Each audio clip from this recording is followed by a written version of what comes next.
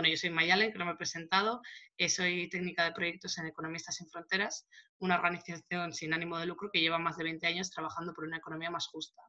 Entonces, bueno, eh, nosotras tenemos varias áreas de trabajo ¿no? y una de ellas es el, el emprendimiento desde la economía social y solidaria.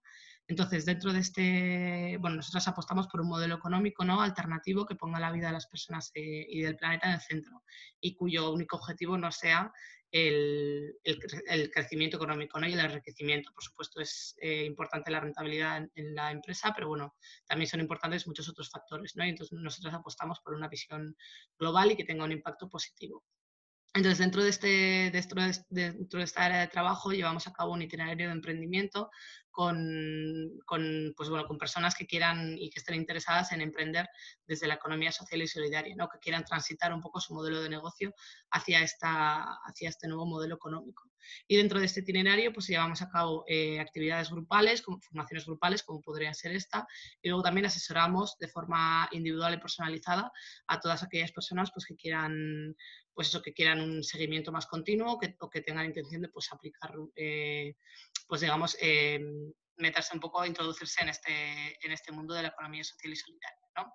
Entonces, eh, siempre intentamos pues, bueno, que las actividades que organizamos sean, sean adaptadas a, a, nuestras emprendedoras y nuestros emprendedores y que también tengan, pues, un, pues, bueno, que sean útiles ¿no? y que estén adaptadas a las circunstancias del, del momento y de las necesidades de cada una.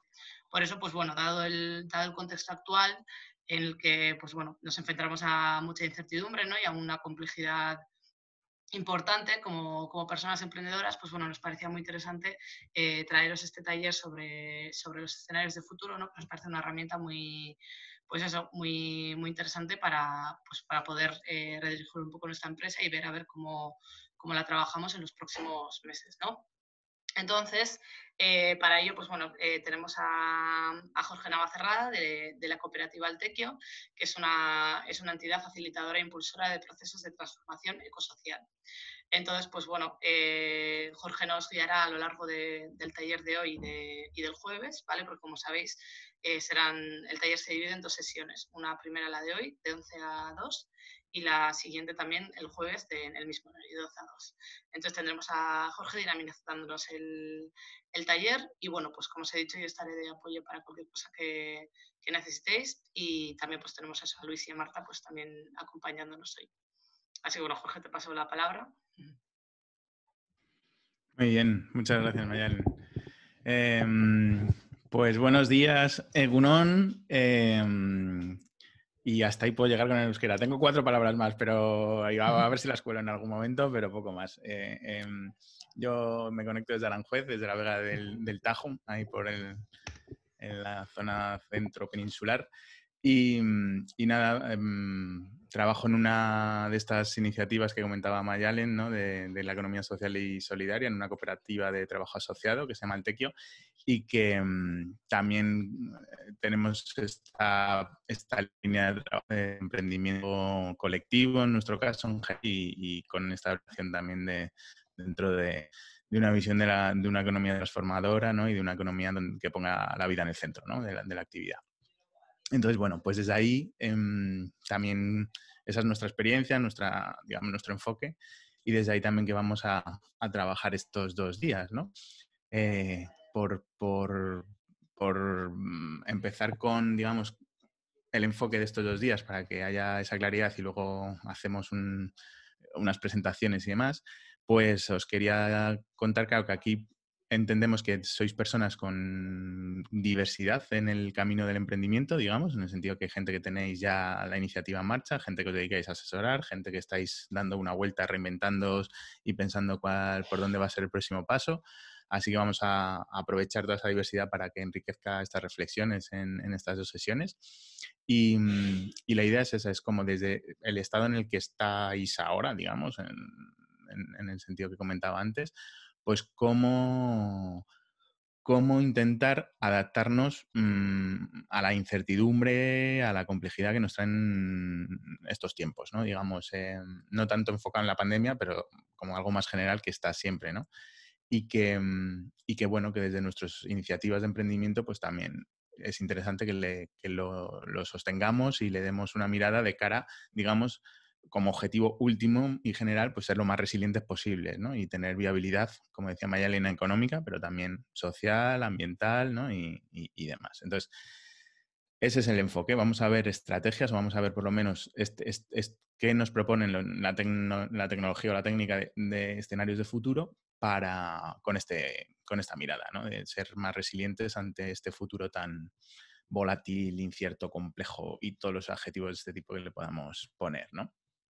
Así que va a ser un camino, yo creo que espero bonito y que vamos a construir entre todas, ¿vale? No tenemos la receta, no vengo aquí con la receta de deciros, ah, no, a ver, para adaptarnos a esto, lo que hay que hacer es uno, dos, tres, cuatro y cinco, y todos iguales y siempre vale eso, ¿no? Porque es, una de las cosas que justo veremos ahora, que es que en estos entornos pocas recetas hay, ¿vale? Pero sí que lo que tenemos son metodologías para trabajar con esta, eh, con esta visión sistémica y, eh, y compleja, ¿no? Que es eh, donde estamos. Dicho esto, y no quiero, digamos, entrar en más detalle y para irlo desglosando poco a poco, ¿no? A medida que pasan las sesiones, pero haremos un recorrido teórico práctico, digamos, de, lo que es los escenarios de futuro, de, cuáles son los pasos para ir construyéndolos y luego aprovechando lo que hemos construido para eh, generar ideas de cara a nuestras iniciativas, a nuestros emprendimientos, a nuestra actividad en relación al emprendimiento que nos puedan ser útiles de cara a esta adaptación, ¿vale? Y, resiliencia. Como sabéis, eh, bueno, como sabéis, no sé si lo sabéis, pero si no lo sabéis os lo cuento yo ahora. Eh, claro, escenarios de futuro, podemos hacer escenarios sobre muchos temas, muchos enfoques y, lo que queremos es que los que hagamos y lo que tratemos en estas dos sesiones sean los más em, útiles para vosotros, para vosotras, ¿no? O sea, mm, que estén lo más aterrizados posibles en vuestras cotidianidad, en vuestra práctica, en, vuestra, en vuestro quehacer, ¿no? Entonces, eh, en ese sentido, claro, seguramente cuando penséis en el futuro y cuando penséis en esto de adaptarnos al futuro y, al contexto incierto y tal, pues a veces es como una gran nebulosa decir, es que no sé ni por dónde agarrarlo. Y otras veces puedes tener alguna pista de decir, pues a mí me preocupa o estoy interesado o interesada en, en, en este aspecto, sobre todo, o en estos aspectos, o, varios temas, ¿no? Os voy a proponer pasar ahora a, otro, a este otro espacio como para ver si, si tenéis alguna intuición de por dónde queréis orientar o qué aspectos os interesa más de este futuro en relación a vuestros emprendimientos, a vuestras iniciativas, a vuestro tal.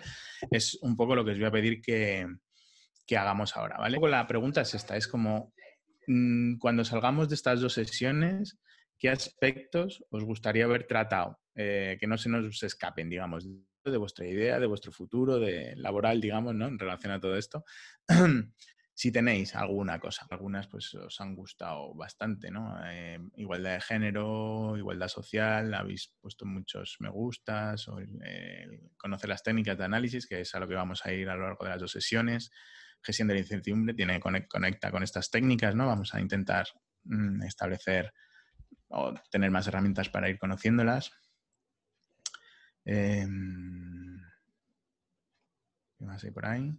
Detectar necesidades de la sociedad que no están actualmente cubiertas. Bueno. Y el resto, ¿no? Eh, que vamos a ir, pues eso, integrando. Ahora cuando, cuando, uno de los pasos de los escenarios que os comentaré es construir las narrativas de los, escenarios, la historia, el, como el, guion de qué es lo que está pasando en ese escenario futuro, pues lo que os invitaré es a tener estas, estas variables en cuenta. Cómo van a estar em, pues cómo va a ser pues, eh, la igualdad de género, la igualdad social en esos escenarios, cómo va a ser mm, la posibilidad de detectar estas necesidades, cómo vamos a hacer las partes de ventas, marketing y cómo establecer precios, por ejemplo, para que lo tengamos un poco ahí de fondo como preguntas de trabajo, ¿vale? Para eso nos va a servir todo esto que acabamos de hacer que nos, va a, que nos va a ser muy útil para orientar los escenarios a cosas que os interesan y que os podéis aplicar y, sean lo más útiles posible, ¿vale?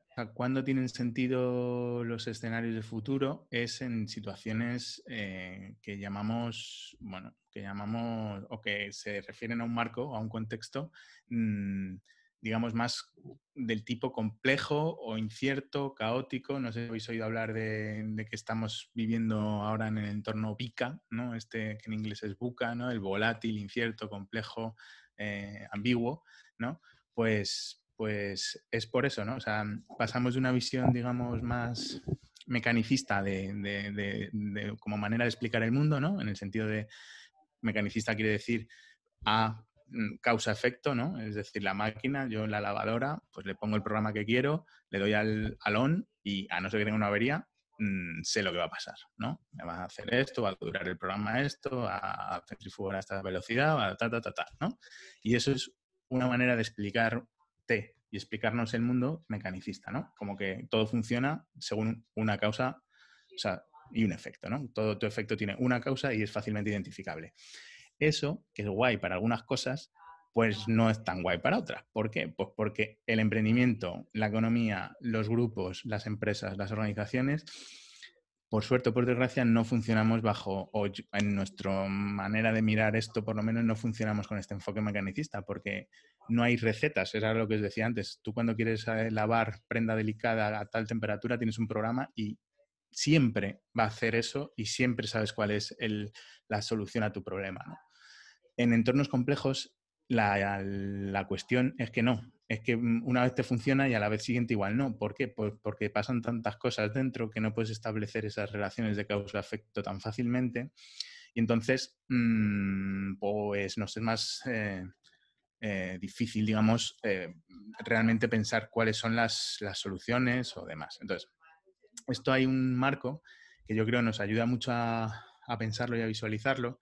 Y os lo presento solo como aperitivo porque daría para mucho, pero si lo queréis explorar mm, fuera de la sesión, yo os animo a ello, que es el marco eh, Cinefin, que no sé si os suena a alguien.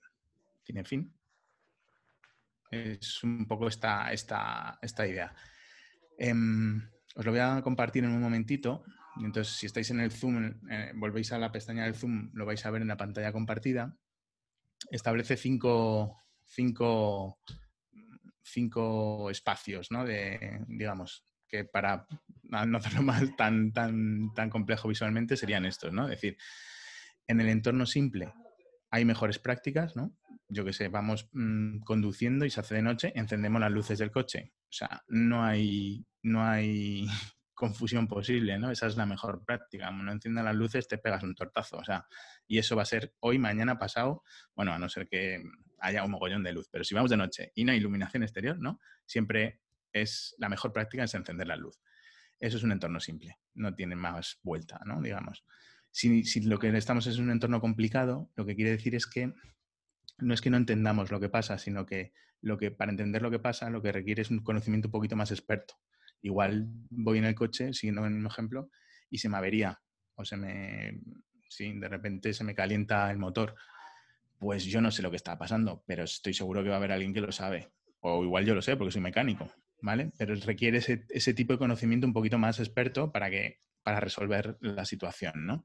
Y ahí, que, ahí suele ser mm, el terreno de las buenas prácticas, ¿no? Se te avería un coche, pues una buena práctica es llamar a un colega que tengas que es mecánico, y llevarlo al taller, mm, llamar al seguro para que lo coja una grúa. En fin, hay varias opciones que en generalmente responden bien, ¿no? son buenas prácticas ante una situación. Eh, aunque tú no sepas, digamos, resolverla personalmente. O sí, ¿no? Ahí está en función de tu campo de expertise o de conocimiento. De ahí nos movemos a, otro contexto más complejo, que es ese es un poco donde nos estamos moviendo ahora. Las organizaciones, los entornos, los emprendimientos no son complicados. No es que, no es que solo necesitemos conocimiento experto, por desgracia, ¿no? Es decir, eh, lo que necesitamos es estar un poco, ser adaptativos, digamos, tener una gestión adaptativa y tener una práctica que no es, no es repetir las buenas prácticas de otras gentes, ¿no? O las mejores prácticas, sino sobre el camino probar, evaluar, ver y ver qué emerge. Y sobre lo que emerge ir aprendiendo y sobre eso ir actuando. ¿no? Es un entorno que nos exige un poquito más de adaptabilidad y más, mm, más, más movimiento, más dinamismo en ese sentido.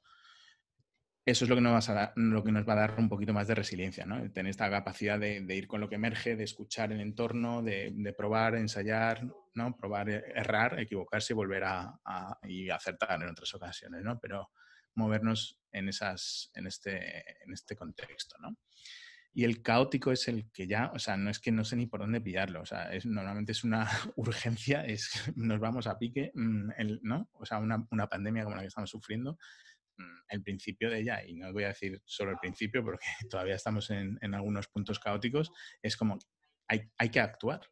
O sea, ahí lo que requiere es la acción. Y luego ya evaluaremos y luego ya veremos si. Pero hay que salir, hay que, hay que hacer algo porque, porque, pues porque no sabes ni por dónde agarrarlo, básicamente. ¿no? Entonces ahí es un entorno muy, muy difícil desde ese sentido de la urgencia, pero también muy rico y provechoso desde el punto de la innovación. ¿no? Ahí es donde surgen también muchas prácticas innovadoras o novedosas. ¿no? Y luego un quinto, que es el cuadrito en medio, el gris que veis, que es el desordenado. Es decir, cuando estamos ahí, lo que hay que es tratar de llevarlo a alguno de los otros cuatro, que es por donde sabemos dónde, ¿no? El simple, conocer las mejores prácticas, el complicado, contar con un conocimiento experto, el complejo, ser, tener una gestión adaptativa, probar, ensayo, error, y el caótico, tirar para adelante, innovar y aprender una vez hechas las cosas, ¿no? No tanto probar como el primero, como el complejo, sino actuar directamente. Entonces, ¿qué es lo que nos pasa en, en los que en el contexto donde nos estamos moviendo estamos entre el complejo y el caótico muchas veces, y no en el desordenado. Pocas veces nos movemos en el simple y en el complicado. Por desgracia o por suerte, ya os digo. Entonces, los escenarios del futuro lo que tratan es de atender esa complejidad, ese caos, digamos, que está fuera en nuestro entorno, a veces también un poquito dentro, incluso, ¿no? Y, y gestionarlo. Entonces, las personas que han puesto técnicas para gestionar la incertidumbre, pues esta es una, ¿no? Entonces, bueno, pues por enmarcar que es aquí a donde nos dirigimos. Y lo que es muy importante, más allá del marco y de, los escenarios, es que sepamos como emprendedoras analizar el contexto en el que nos movemos, porque a veces sí que va a ser un contexto simple. Pues aplicamos, digamos, un, un funcionamiento, digamos, que responda a eso. Me, empapo de las mejores prácticas y las aplico, ¿no? O si, ¿no? o si estoy en un entorno complicado, pues ta, ta, ta, no me voy a repetir. Pero lo que es importante es analizar el entorno y dar con, la tipología para aplicar un poco la herramienta que requiere. Entonces, esto es para entornos complejos y caóticos. Eso es un poco lo que, lo que os quería decir. ¿Qué pasa? Que, claro, ante esto, pues, no, pues el reto que tenemos es eso, generar nuevas formas de organizarnos, ¿no? Y en ello estamos. Y con esta herramienta, pues alguna parte de ella, pues por lo menos nos va a dar pie a pensar, ¿no? Cómo nos podemos organizar de una manera más resiliente, ¿no? Ante, este, ante estos futuros.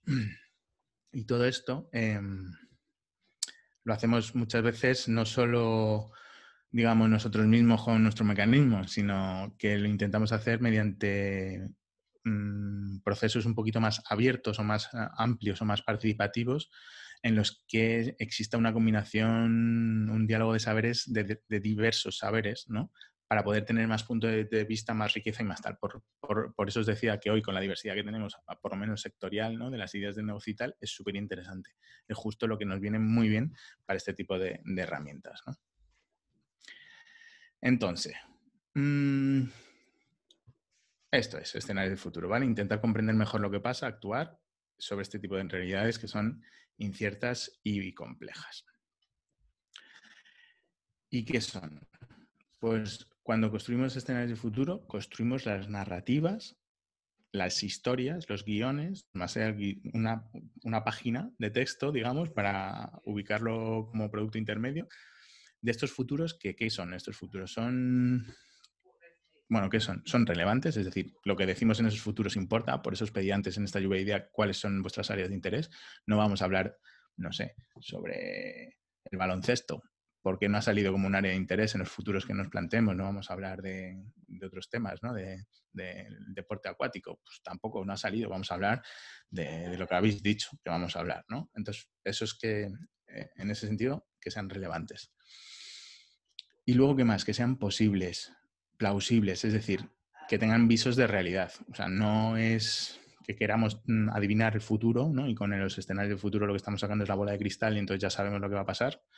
No se trata, bueno, ni se trata de eso, ni, si, ni siquiera si se trata de eso, creo que no seríamos capaces, ¿no? Porque, vamos, mm, nadie lo es pero sí de que sean posibles. Es decir, mm, pues en el futuro no es que vengan los extraterrestres y nos solucionen la papeleta, o no, yo qué sé, ¿no? Ese tipo de futuros que nos podemos imaginar que ya son un poco mm, más allá de lo, de lo posible, ¿no? Bueno, quién sabe, nunca. Pero bueno, eh, quedar con la música, ¿no?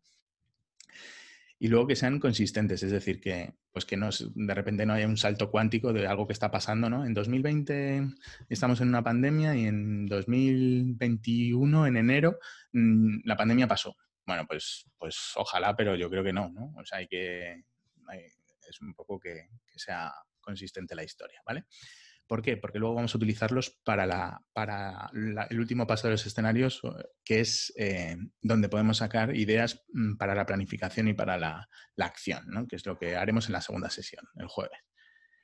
Por tanto, no son predicciones de futuro ni, simples prolongaciones de lo que está pasando. Se trata de, de, ir un poquito más allá, ¿vale? De incluir aquí, como os pongo, o sea, no estamos hablando de hecho de ediciones, ni tampoco de especulaciones, ¿no? Estamos moviéndonos, intentándonos mover en un nivel de incertidumbre, incertidumbre y complejidad, pues que nos haga explorar, proyectar, tener distintos escenarios, ¿vale? Ese es un poco el, ámbito donde nos movemos. Y luego, a nivel de técnicas, hay un montón. Escenarios de futuro se puede aplicar a organizaciones, que es lo que estamos haciendo ahora, pero también se pueden aplicar a territorios. De hecho, el origen eh, es organizacional, pero luego el mayor desarrollo que ha tenido ha sido territorial el origen de los escenarios, si os lo digo, me tengo que poner así casi y decir, mm, me llamo Jorge y he venido a la reunión de, emprendedores anónimos de la economía social y solidaria. ¿Por qué? Porque es una herramienta que, creó Shell, la compañía petrolera, y estamos usando esa herramienta, ¿vale? Pero bueno, ahí estamos, la estamos usando para otras cosas que no su origen, ¿no? Para realmente promover una economía transformadora, ¿no? Una economía basada en, en el petróleo, ¿no? Em, pero bueno, ese, es el origen organizacional, ¿no? A nivel de empresa se usa esta herramienta también para adaptarse pues, a esa incertidumbre y complejidad. Y luego está trasladado a decir, pues mira, eh, ¿qué va a pasar en este territorio dentro de 15, 20 años o 30 mm, sobre estos aspectos? Y nosotros en Altec hemos facilitado escenarios de futuro de organizaciones, pues yo que sé, como, em, como Europark, no sé si conocéis Europark, que es la asociación estatal, digamos, de áreas protegidas, espacios protegidos naturales, ¿no? Y es la rama, digamos, del Estado español, pero ahí es internacional la organización. Pues esa organización quería hacer un plan estratégico y quería hacerlo con escenario de futuro. Pues lo hicimos con un taller de día y medio, juntando a 40 personas y haciendo toda una metodología que ahora os voy a resumir en estas dos sesiones, ¿no? O con un proyecto de, mm, de, de Doñana, en Doñana. Pues en Doñana querían hacer los escenarios de futuro del Parque Nacional de Doñana en relación al aspecto del agua y de otras cosas que son aspectos clave. Pues hay igual talleres con gente y demás, pero basado en el territorio, ¿vale? O otro que es basado en el territorio fue em, el de ecosistemas del milenio. Sé que en Euskadi hay una, el proyecto está muy, muy fuerte y también a nivel estatal y a nivel internacional. Pues hicieron escenarios de futuro de, ese proyecto, ¿no? De cómo estarían los ecosistemas eh, eh, en distintos niveles eh, regionales, en distintas, ¿no? Y demás. En fin, por eso os digo que hay diversidad. O sea, es una herramienta súper adaptable, y eso es lo positivo, digamos. Y, y, luego lo que os digo, que la narrativa es una página, digamos, pero luego también esa narrativa se puede mostrar como un dibujo, ¿vale? Eso ya, pues dependiendo de los medios, los recursos, los fines y demás, pero se trabaja también a nivel visual, ¿vale? Por ejemplo, aquí os pongo un, un, ejemplo de, de, una de ellas. Este era pues, un escenario de Doñana viva y creativa, el chulo, digamos, ¿no? Hay otros escenarios más chungos. Como veis aquí, ¿no? El Doñana Árida, pues era un poquito más, más secano, digamos, respecto al, al Creativa, si lo veis, ¿no? Un poquito más amarillo y más asfaltado que el otro. Pues, pero bueno, son escenarios posibles, ¿no? Entonces, barajamos estos cuatro, por ejemplo. Simplemente para que lo tengáis como una opción, ¿vale? Entonces, eh, dejar un momento de compartir pantalla. Eh, y os voy a pedir que estéis en el, en el chat, atentas al chat un momentito. ¿Estáis en el chat? ¿Estáis pudiendo ver el chat?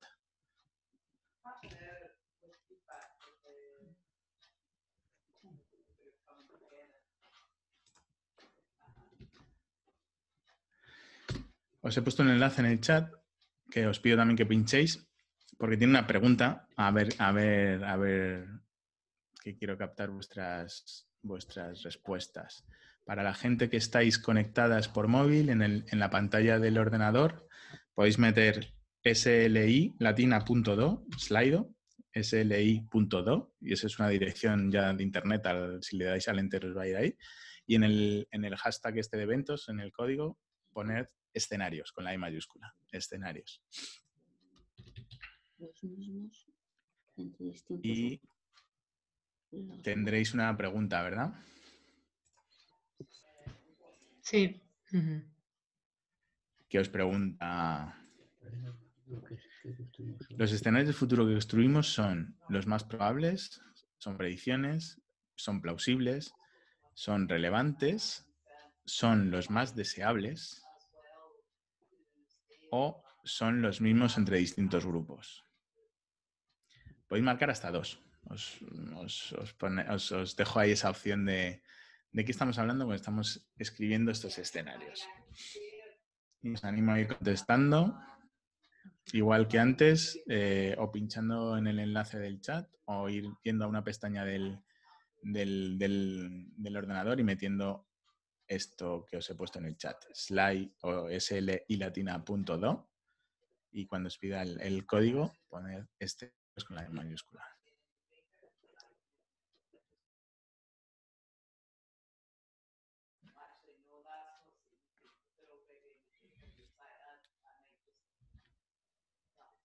Voy a dar unos segunditos más. Ya habéis participado un montón, 13 personas. Igual si no participáis todas tampoco pasa nada, pero sí para tener ahí, eh, os voy a compartir esta pantalla. Esto es un poco lo que estáis contestando, ¿no? Ante la pregunta. Efectivamente, el 71% habéis dicho que sean plausibles, correcto, ¿no? Que sean posibles, lo que hemos dicho, que no sea una marcianada y que sea algo medianamente realista, ¿no? Sabiendo que lo que puede pasar dentro de 15 años, o sea, nadie lo sabe, ¿no? Pero, pero sí que sean, sean plausibles. Los más probables son predicciones. Esto justo había dicho yo que eso es lo que no son, que no son predicciones. No queremos, no queremos predecir porque no sabemos. Bueno, hay muchas herramientas, hay modelizaciones que son muy potentes, hay, hay, hay, hay, hay mm, herramientas que lo que tratan sí que es de predecir, ¿vale? Pero en los escenarios de futuro no, no, no tratan de predecir, tratan de, generar, como habéis puesto también, relevantes, escenarios relevantes, escenarios plausibles. Efectivamente, tampoco se tratan de los más deseables, porque para eso no aplicamos escenarios de futuro, aplicamos otras técnicas, aplicamos eh, indagación apreciativa, aplicamos visión común, aplicamos otra serie de herramientas y de técnicas que tenemos para generar esos futuros deseables, ¿vale? Y si lo que queremos es eso, ok, pero tenemos otras herramientas. Y los mismos entre distintos grupos lo pasa igual que los más deseables. Hay otras herramientas que si queremos generar visiones comunes de futuro, pues podemos usar, pero escenarios de futuro eh, lo que trata es de, digamos, diverger para tener más diversidad y para acoger mejor la incertidumbre. Es justo su fortaleza, ¿no? Entonces, efectivamente, estamos moviéndonos en los escenarios que son plausibles, que son relevantes, que no son predictivos, ¿vale? No, no sabemos, no podemos predecir a 20 años qué va a pasar. Tenemos capacidad de modelizar muchas cosas y demás, pero no, no es el ánimo. Son otras, estos son otras herramientas, igual que lo de, esto. ¿vale? Esto es importante a la hora de escribir las narrativas porque es eso, no, no vamos a escribir narrativas que son de los futuros que queremos o deseamos, sino de lo que nos toque, digamos, y no van a ser narrativas de que yo es lo que creo que va a pasar porque es lo más posible, porque eso es lo que hacia dónde vamos y no sé qué, que sería intentar adivinar o predecir el, futuro, ¿vale? Estamos en, más, más un poco pensar más fuera, más en lo plausible, digamos, en, en qué es posible, pero no necesariamente lo más probable, ¿vale? Vale, pues pues estos, eh, digamos, eh, el, el, contexto de los escenarios y, digamos, la utilidad que tienen es eso, eh, para integrar, digamos, esta, estas áreas de incertidumbre dentro de nuestras planificaciones estratégicas, dentro de nuestro pensamiento a largo plazo, mm, para saber o identificar cuáles son los elementos de deshabilidad en el futuro que tenemos, no solo como personas, sino a lo mejor como organización o como territorio, ¿vale? Em, y para generar diálogo y acuerdos o consenso entre las distintas partes que estén dialogando. Igual si es una organización son los diferentes departamentos o son dentro de un departamento incluso puede haber buen diálogo un buen consenso que antes no existía. O sea, podemos aplicarlo a, como a diferentes escalas, lo que os decía, eh, pero el objetivo también es ese. Siempre es buscar la conexión entre las personas, entre los actores que participan en esta técnica, buscar esos espacios de comunicación y acuerdo y sea territorio, ayudar a pensar a largo plazo, ¿vale? Y que nos ayude a planificar. o generar un poco de, visión más estratégica. ¿Vale? Esas son, digamos, las cuatro utilidades que os pasaré en, una poca de documentación que, os haré llegar, ¿vale? Y, yo creo que esto es así como, como la, intro que os quería hacer de los escenarios. Entonces, igual ahora para, para avanzar, mm, vamos a irlos construyendo, si os parece, ¿vale? Eh, para irlos construyendo, yo mm, os, voy a contar un poco algunos pasos mm, básicos para ir haciéndolo a la medida que lo vamos explicando, ¿vale? ¿Cómo estáis hasta aquí? ¿Bien? Vale, pues vamos con esto, si os parece, y hacemos un descansito en unos minutos también, porque lo necesitaremos seguro. Venga, pues mm, os voy a compartir un poco, un momentito pantalla para que podamos ver esto. Vale, ¿cuál es el primer paso? Establecer el objetivo de los escenarios. Esto, como en casi todo, ¿qué queremos indagar? ¿Vale? ¿Qué es lo que vamos a explorar en los escenarios? por ejemplo, en uno que hicimos recientemente, siempre tiene una pregunta, que es la que marca en los escenarios, ¿no? A lo que responden los escenarios. Eso es, digamos, la base de partida. Por ejemplo, hicimos uno con una organización, con Solidaridad Internacional la Andalucía, que era este, ¿no? ¿Cómo será la sociedad andaluza en 2040? Fijaros el plazo respecto a la resiliencia local y la justicia global. Pues esto fue, ¿vale? La pregunta de trabajo. Eh, ahora veremos cómo construimos la pregunta sobre la que vamos a trabajar en este taller, ¿vale? Aspecto clave. Una vez que tenemos la pregunta de trabajo, mm, pensar qué grado de participación queremos tener en la construcción de escenario, ¿vale? Igual es, si es organizacional, somos el equipo de trabajo, somos tres, tres, soy yo, soy yo, mm, o no, quiero contactar con algún colaborador. Mm, trabajamos, lo vamos a construir en lo interno de la red. O no, queremos llamar gente de fuera porque nos interesan miradas más con más diversidad. No lo sé. Eh, el, ejemplo que os ponía antes de Europar fue con gente ajena a la organización. El ejemplo, hay ejemplos de todo tipo y no hay receta. Esto es lo que queráis y hasta donde llegáis, queréis llegar, vamos. Todos estos niveles de la participación que queramos, eh, ¿no? Gente que pueda ser informada, gente que pueda ser consultada, gente que pueda eh, participar en, digamos, en, a nivel más de, decisión o incluso en la implementación. ¿no? Son diferentes pasos en la participación que podemos pensar y hasta dónde queremos llegar en, esa construcción. ¿vale? Tercer paso, pensar qué tipo de escenarios queremos construir. ¿vale? Hay varios tipos. Os decía antes que hay, hay, sistemas de modelizar, ¿no? Hay gente que, pues yo qué sé, la Unión Europea usa escenarios de futuro para modelizar usos del territorio, usos del suelo ahí meten unos modelos eh, perdón, cuantitativos súper potentes con, con, ¿cómo se dicen? Con, con los modelos, eh, tiene un nombre que ahora no recuerdo, con la modelización matemática, ¿no? Con algoritmos, ¿no? Y cosas ahí bastante complejas. Esa es una opción, pero no, pero hay otras que son más cualitativas que no necesitamos ese tipo de, de, modelizaciones y demás. Entonces hay que ver qué tipo de, de escenarios queremos si va a haber modelización y cómo combinarla o no, y si son exploratorios o normativos. El exploratorio lo que significa es mm, lo que os he dicho antes, más que son plausibles, más que habrá elementos deseables y elementos no deseables en cada uno de los escenarios. O si queremos añadir un quinto, un quinto escenario que sea normativo, en el sentido de, cuál queremos que sea la norma, cuál es lo deseable. Ese sería el escenario deseable, que también se puede construir. Por ejemplo, esto es un ejemplo de los, del proyecto que es desde ecosistemas del milenio. Eh, se llegó a la conclusión de hacer estos dos ejes, que son factores que ahora os explicaré un poquito, que eran los más importantes. Y entonces eso lo que nos va a definir son cuatro cuadrantes, que son los cuatro escenarios de futuro sobre los que trabajamos. ¿vale? Por ejemplo, dijeron, mira, ¿cuál va a ser, cuáles son los factores más importantes mm, que no podemos manejar, que son más inciertos, que tal y tal? Pues la economía, si va a ir a globalizarse más o a localizarse más, ¿no? Y las políticas ambientales, si van a ser más de tipo proactivo o van a ser más de tipo reactivo. Y entonces, en función de eso, pues se generan estos cuatro cuadrantes, ¿no? Eh, si en el futuro, digamos, hay políticas ambientales proactivas y la economía tiende a globalizarse, pues estaremos en el escenario de Homo ecotecnologicus, que llamaron, ¿no? Siempre, normalmente se les pone un nombre así en plan titular. Si la economía se tiende a globalizarse, pero las políticas ambientales, en vez de ser proactivas, son más de tipo reactivo, pues el, escenario es conflicto a la vista. Eh, y así sucesivamente, ¿no? Con políticas ambientales proactivas y economía más localizada, pues ecobienestar y con políticas ambientales reactivas y economía más localizada, tecnopolar, ¿vale?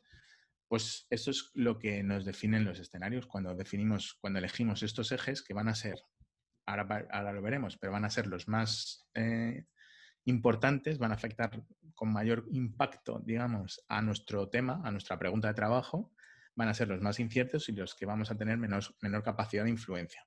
¿vale? Pues escogemos esos dos factores que creemos que son, que cumplen esos requisitos y los ponemos en los ejes, de manera que eso nos despeja, digamos, esa incertidumbre. O sea, si no sé, si son los más inciertos, si no sé si la economía va a ir global o va a ir local o va cómo va a ir, me lo pongo en un eje. Y eso ya entonces ya exploro el escenario donde va global y donde va local. Me quito esa, me quitan muy entre comillas, porque ya os digo, no es que tengamos la bola de cristal ni nada, pero despejo esa variable de la ecuación generando, digamos, cuatro escenarios donde en una cosa, en uno pasa una cosa y en otro pasa otra, ¿vale? Y así lo mismo con los otros, con, el otro, con el otro. Esto es una manera que normalmente nosotros usamos mm, eh, para hacer los escenarios de modo que se definen cuatro. Y el quinto, que sería el normativo, que sería el deseable. A veces lo hacemos, si, nos tiene sentido, ¿vale? Hay más formas, pero yo creo que aquí, con esta, yo creo que es suficientemente versátil para poderla usar y es lo que vamos a ir a lo largo de usar, usando a lo largo del taller. ¿vale? Em, entonces, eso. En este caso vamos a, vamos a seleccionar escenarios más de tipo cualitativo, más sin modelización, sin números, ¿no? Porque hay escenarios que dicen, no, y el precio del petróleo mm, sube y a 1, no sé cuántos dólares el barril de Brent y, no, o sea, no nos vamos a meter en esas eh, cosas tan, tan cuantitativas y tan de modelizar, sino vamos a ir más a lo cualitativo, al discurso, ¿no? en ese sentido. Y van a ser esos escenarios más exploratorios, ¿vale? Estos son lo que os, lo que os decía, ¿no? Conflicto de la no polar, pues un poquito más eh, definidos o más, bueno, tenían sus preguntas de trabajo, sus definiciones sobre los servicios de ecosistema, no vamos a entrar porque es un tema muy concreto, pero ahí se, describían, ¿no? se caracterizaban cada uno de los escenarios. Luego había el control, que era el deseable. En este caso se decidió hacer así, ¿vale? ¿Qué es lo siguiente? Lo siguiente que nos planteamos cuando queremos construir el escenario es eh, a qué año vamos a proyectar. ¿vale? Habéis visto los ejemplos, creo que, a ver, lo teníamos por aquí antes. Eh, a ver si llego. Este, 2040, ¿no? Tenía esta pregunta. Pues ese es el horizonte. Y fijaros, estamos en el 2020, a 20 años vista. O sea, madre mía, ¿no? Es un mogollón. Es lo suficiente como para que pasen cosas que no, que no, pues eso, que nos, que nos, que nos abran un poco la mente, ¿no? Y que nos abran la perspectiva. Eh, porque cinco años, pues dicen, cinco años eh, me puedo permitir casi el, pensar que puedo intentar predecir lo que va a pasar a cinco años. Aunque fijaros, yo que sé, ¿quién, quién hubiera predicho esta pandemia hace dos, ¿no? Pero, pero bueno, yo qué sé, son plazos todavía relativamente que están ahí cerquita, ¿no? Entonces, por eso se usan plazos más largos, de 10, 15, 20, 30 años, en función también de la escala. Entonces, el año base es 2020, el año proyectado, pues entre 15 y 35 años vista, ¿no? Y luego está no solo la escala temporal, sino la espacial. ¿Dónde vamos a ubicar los, los escenarios? ¿Va a ser en una organización? ¿Va a ser como va a estar Europark mm, en el 2040? O, mm, o, va a ser como va a estar Doñana en 2035 o qué, ¿no? ¿Dónde, ¿Dónde, ubicamos? Entonces, esas son otras preguntas de diseño que nos tenemos que hacer. Si queremos ubicarlo en nuestra organización, genial. En nuestra red de organizaciones, genial. En nuestro territorio, genial. Cualquiera de ellas, ¿no? Aquí veis, por ejemplo, nosotros, eh, Altequio es parte de un grupo cooperativo que se llama Tangente. Para construir Tangente usamos escenarios de futuro. Nos juntamos tres cooperativas y empezamos a pensar en, claves de, qué futuros posibles eh, se podían dar en, base a algunas variables que para nosotros eran las relevantes en ese momento de construir el grupo cooperativo, ¿no? Y dimos con, bueno, pues con, algunos, con algunas claves que nos han ayudado a construirlo tal cual es hoy el grupo y, genial. Ahora somos equipos, unas 100 personas implicadas y, pues nos ayudó mucho en ese momento, ¿no? En generar esa, esa metodología. Y fue organizacional, digamos, ¿no? Sin embargo, esta que os pongo a la derecha es la de ecosistemas del milenio, que es global, es mundial, es internacional, ¿no? Hay un montón de, organizaciones en este proyecto.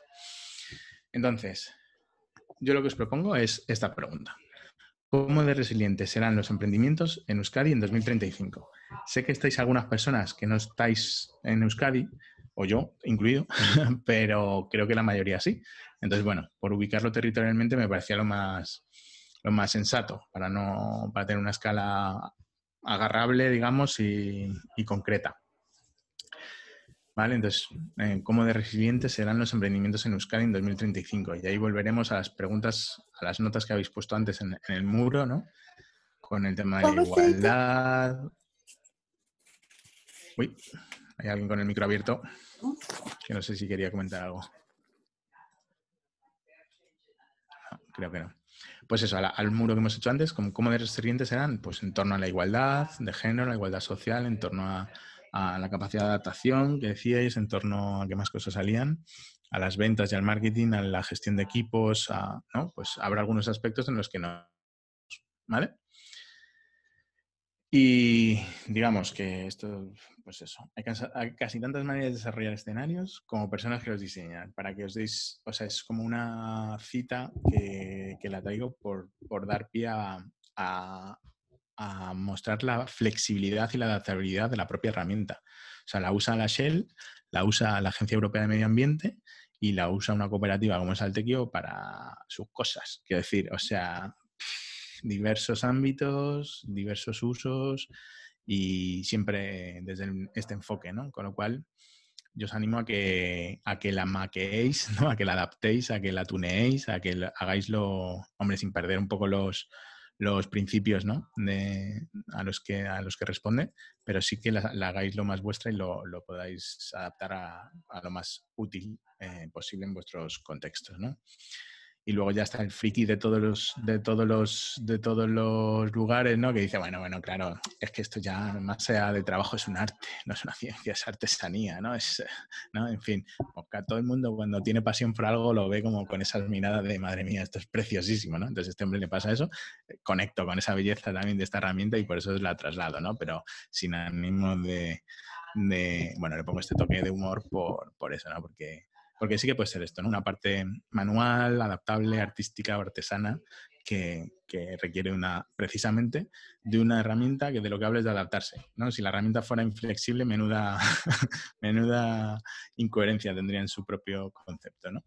Lo que os quiero proponer para este rato que nos queda es dar una mirada al, tema de cómo elegimos esos ejes que os he mostrado antes de que definen los cuatro escenarios y cómo em, construimos las narrativas, ¿vale? Si nos podemos ir de esta sesión con al menos haber empezado a esbozar esas narrativas, eh, sería feten, objetivo conseguidísimo para, el día de hoy, ¿vale?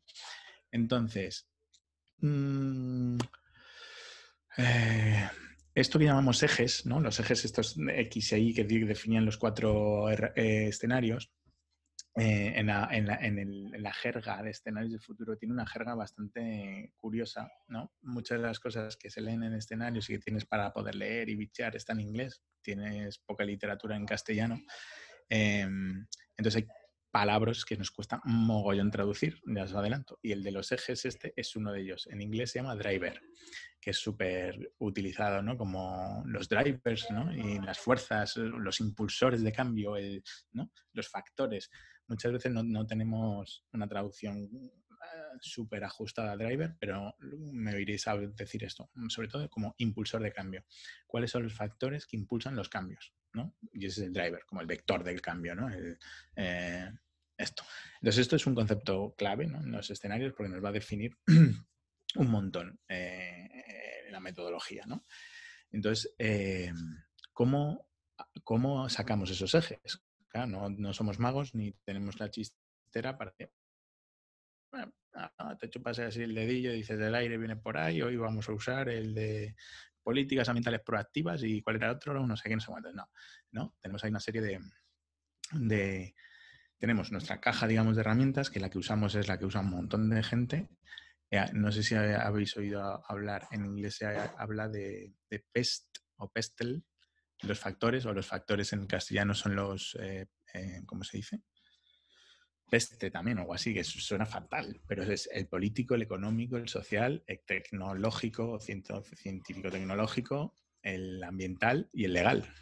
Entonces podemos decir pestal o pestla o como queramos hacer cualquier combinación entre cualquiera de sus siglas, ¿no? Pero básicamente es eso. Entonces, del ámbito político, pues, hay varios factores que influyen del ámbito legal, del ámbito ambiental, del ámbito, cada uno de ellos nos van a marcar algunos, nos van a dar pistas sobre cuáles pueden ser esos drivers para configurar nuestro futuro. ¿De qué se trata? Pues de, averiguar cuáles tienen más sentido para construir nuestros tres escenarios. Y como os digo, no hay receta y a la vez hay metodología. O sea, lo que no hay es la respuesta. Lo que sí que hay es como una hoja de ruta para llegar a la respuesta, ¿no? Que en cada momento y en cada caso pues será la más adecuada, ¿no? Eh, en función del contexto. Entonces, ¿cuál es la metodología? Pues normalmente lo que hacemos es eh, ahora para esto no, lo he hecho porque tampoco creo que fuera tan, tan necesario, pero normalmente se parte de lo que llamamos un escenario cero de partida. De si vamos a preguntarnos qué es lo que vamos a hacer, cómo están los emprendimientos en Euskadi en 2035, eh, pues habría que ver cómo están ahora, ¿no? Para decir, bueno, pues un poquito un análisis de partida, de dónde están las, pues, las, los puntos fuertes, los puntos débiles, las, ¿no? Podríamos hacer a veces un DAFO, ¿no? tipo cuáles son debilidades, amenazas, fortalezas, oportunidades del tema en la actualidad, aunque ya las, las, em, amenazas y las, em, y las fortalezas apunten, digamos, a, o las debilidades, a ver, las amenazas y las debilidades, ahora se me ha ido, debilidad, amenaza, Fortaleza, oportunidad. Exacto. La oportunidad y la amenaza sí que miren a futuro, era lo que me estaba costando eh, verbalizar, ¿no? Y la debilidad y la fortaleza sean más del presente, ¿no? Entonces ya estás poniendo ahí un poco. Pero bueno, muchas veces se hace eso, otras veces sencillamente se hace como un estudio de gabinete, se miran cosas que sean interesantes para tener un, mapa eh, inicial, ¿no? Y luego Em, se habla un poco pues, de qué factores en este, en ahora están incidiendo con mayor fuerza o cuáles son los que prevemos que puedan tener más impacto, digamos, en, el desarrollo y en la evolución del emprendimiento. Sería nuestro caso, ¿no? La reflexión que, que, haríamos. Y en ese sentido, em, usaríamos o podríamos usar dentro de, de, esta categoría, digamos, o de esta nomenclatura que, que, tenemos, que os digo, del pestle o demás, ¿no? Eh, o estepe, estepa en, castellano. Eh, os lo voy a compartir porque yo creo que va a ser más visual. Eh, aquí, aquí. ¿Y dónde estás? No estás.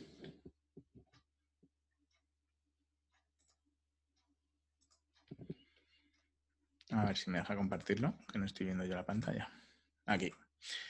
Eh, digamos, step o stepal, ¿no? Que son los socioculturales, los científico-tecnológicos, los económicos, los políticos y los ambientales y los legales, ¿no? Así como seis áreas básicas de, trabajo. Esto luego se, se traducen en, dependiendo del, del ejemplo, en, factores más concretos, ¿no? en, los, yo que sé, en, los económicos.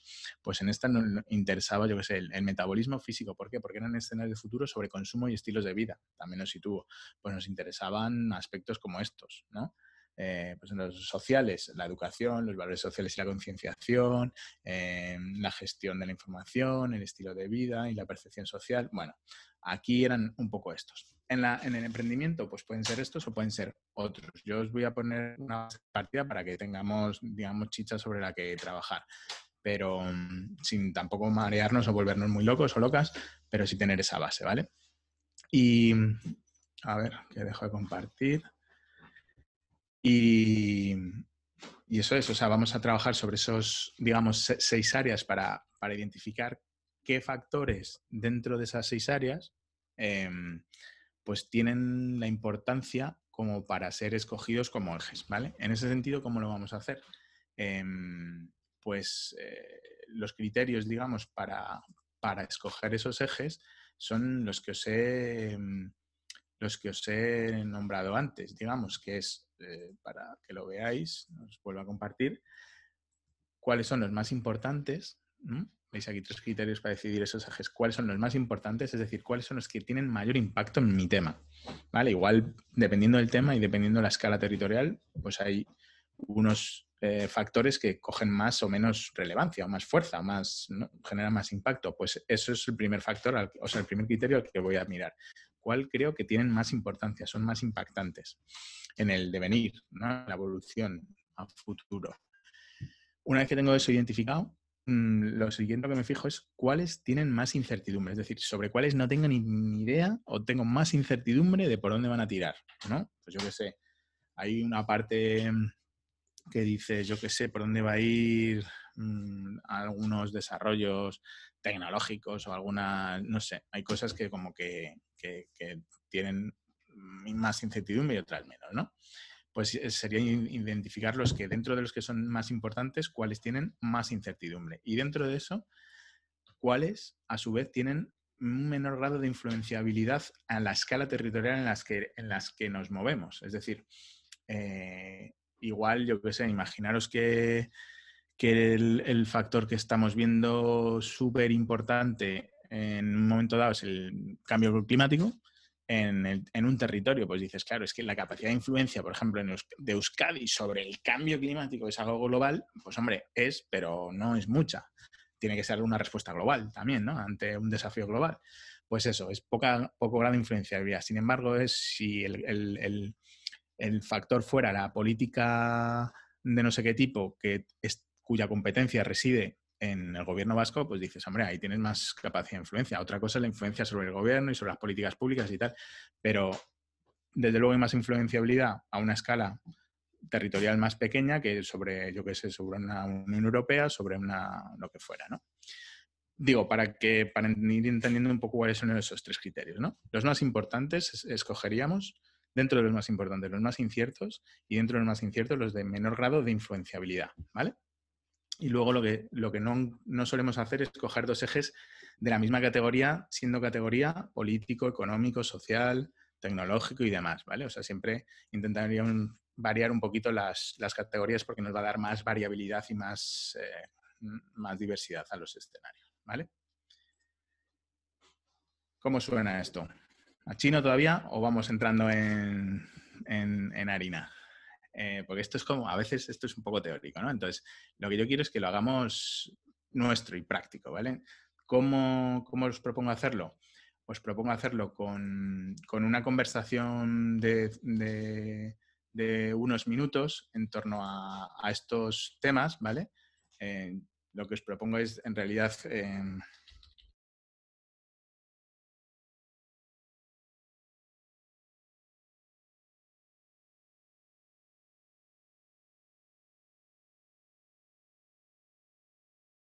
que pues el político, lo que hemos dicho, eh, el económico, social, estoy haciendo las salas, el tecnológico, el legal, ¿qué más había? me estoy dejando uno, ¿verdad? El ambiental. ambiental. Eh, madre mía, me dije yo el ambiental tiene delito. No se lo digáis a mis compañeras de cooperativa. Al tequio, eh, sí, el tecnológico lo tenemos, eso es. Vale, ¿en el ambiental quiere estar alguien? Porque sé que alguna de aquí sí que os dedicáis a temas ambientales. ¿O es indiferente? Yo, a ver, yo me dedico, pero sobre todo a los ODS, a los tres, a las tres dimensiones, no solo el ambiental. Vale, o sea que. no, no, soy especialista tampoco en, en cosas ambientales. ¿eh? Vale, perfecto.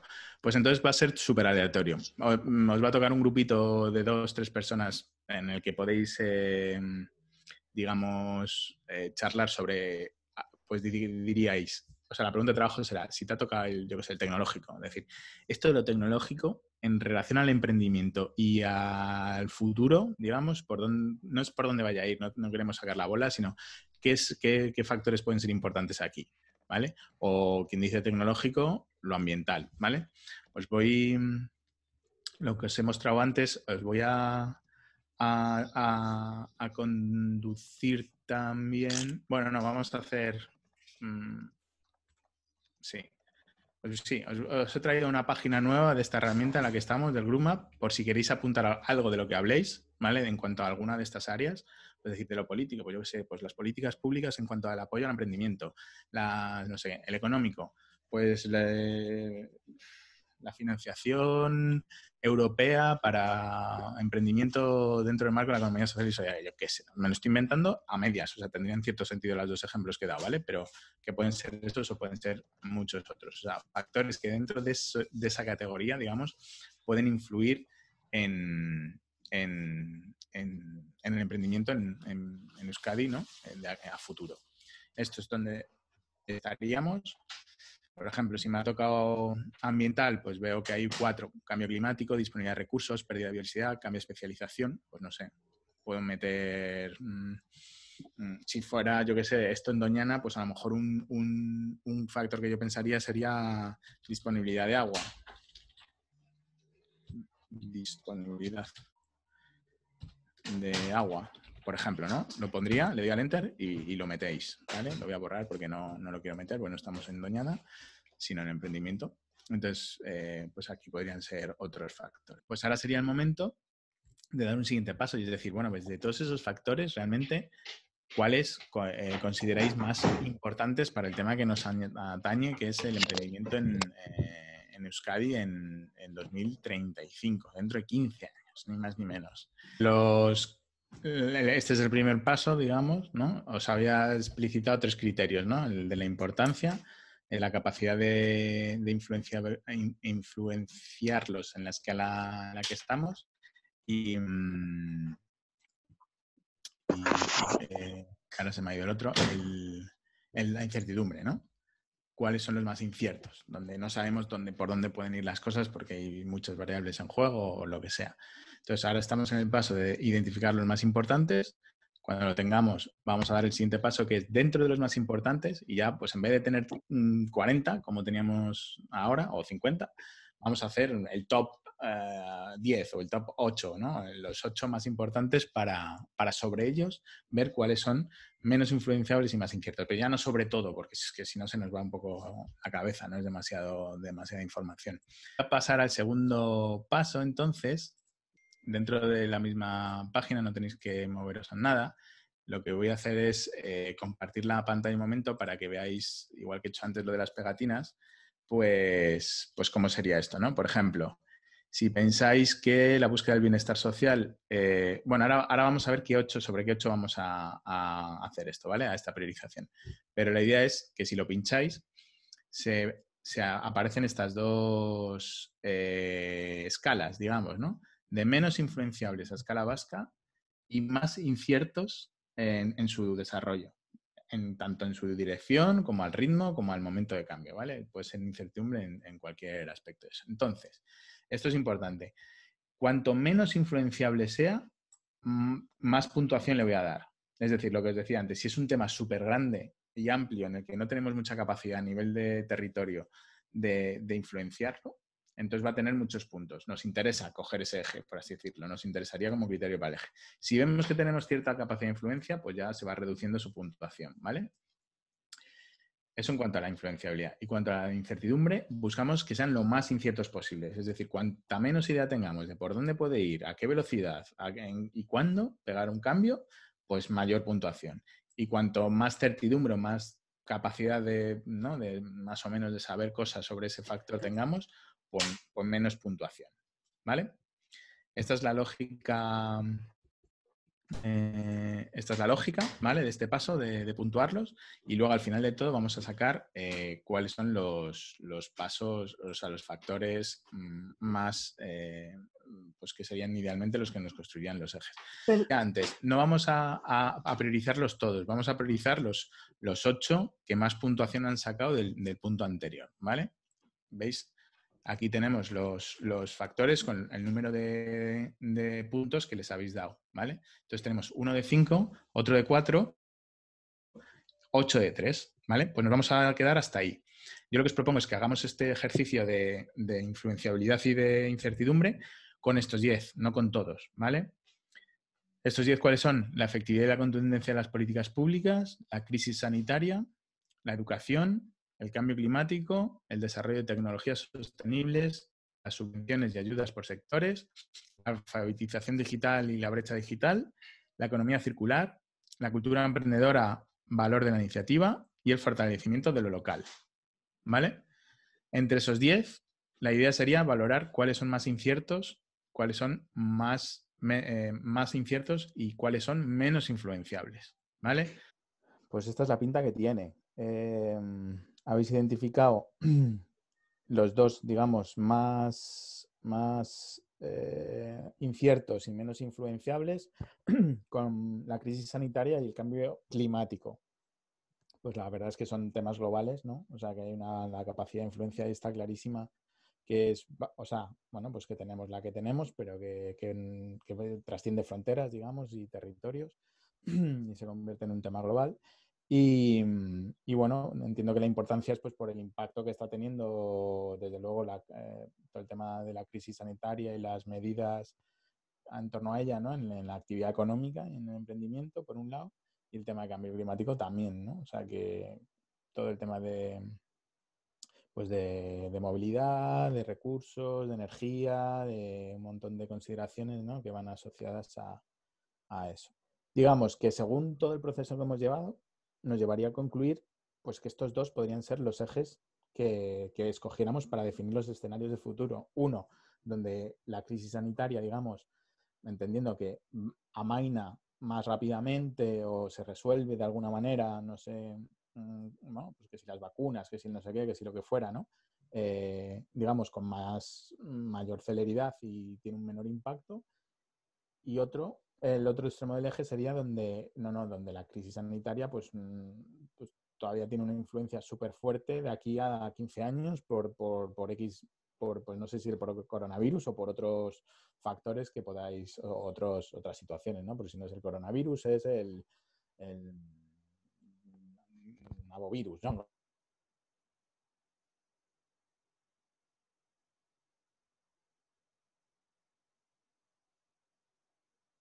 Pues encuadraría un impacto más fuerte en nuestra actividad emprendedora a nivel de, los efectos que tendría el cambio climático en, en, Euskadi para el emprendimiento y el otro polo del eje sería pues bueno, pues que el cambio climático tampoco afecta tantísimo.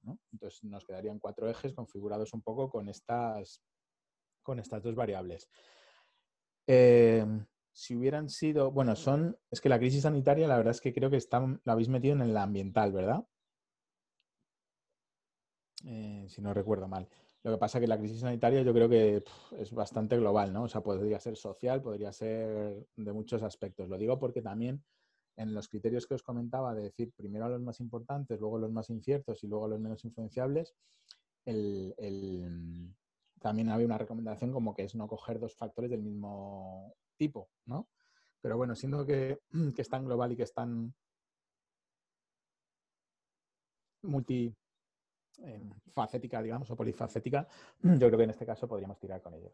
Pues básicamente yo lo que haría es, digamos, haceros caso, que para eso os he preguntado, ¿no? y coger los dos que vosotras, vosotros habéis eh, tenido como más relevantes o más, más importantes y todo lo que hemos dicho. Vale. Ahora bien, estos tres siguientes que le habéis dado mucha puntuación, el de desarrollo de tecnología sostenible, el de cultura emprendedora y el de efectividad y contundencia de la política pública, los tendría como elementos para caracterizar las narrativas de esos escenarios. A ver si me explico. Es decir, en el escenario imaginaros en el que el efecto del cambio climático es muy importante y, sin embargo la crisis sanitaria remite o el efecto de la crisis sanitaria es menor, ¿vale? Ese es un, pues cómo sería el espíritu emprendedor, cómo estaría el desarrollo de las tecnologías sostenibles y la cultura emprendedora en ese escenario. Y así en cada uno de ellos, para incorporarlos, digamos, no como eje, pero sí como variables que habéis identificado que son muy importantes para estos escenarios que vamos a construir. Esto lo que nos hace es, otra vez, volver a, decir, todo lo que nos es importante, incierto, poco influenciable, lo integramos en nuestra mirada, incorporándolo en, en, la narrativa del escenario que vayamos a hacer, ¿vale? No tenemos un escenario único al cual tender, ¿no? Cuando hacemos un plan estratégico, normalmente nos marcamos unos objetivos y nos decimos, ¿dónde estamos hoy? Aquí. ¿Dónde queremos llegar? Allí. ¿Qué tenemos que hacer? Esto, esto, esto y esto. Claro, es una planificación chula, interesante, útil para muchas cosas y a veces mm, se nos queda un poco corta porque pasan cosas en la vida y se queda obsoleta, porque no hemos tenido en cuenta esta variable que nos iba a influenciar. Vamos, nosotros en Altec hicimos un plan estratégico sin, escenarios de futuro y lo estábamos acabando en febrero de este año. Imaginaros el plan estratégico ese, ¿a dónde ha ido? Bueno, pues no ha ido ahí porque lo hemos rescatado y lo hemos dado la vuelta y tal, no sé cuántos, pero, pero claro, mm, pasan cosas. Entonces, estas miradas más lineales hacia el futuro, pues es la debilidad que tienen, ¿no? Que, a corto plazo, cuanto más a corto plazo sean, más, más capacidad, digamos, de, de que no pasen cosas gordas tienes pero en la medida que te vas alejando un poquito, pues, pues, pues eso, no voy a incidir más, ¿no? Contexto complejo, incierto y todo esto, y volátil. Entonces, esto es lo que trae el escenario futuro. Cuando construimos este escenario futuro, donde hemos incorporado estas variables que son tan inciertas y tan importantes en la narrativa, luego, y vamos a hacer varios, cuatro, pues luego vamos a tener eso incorporado de una manera mucho más potente.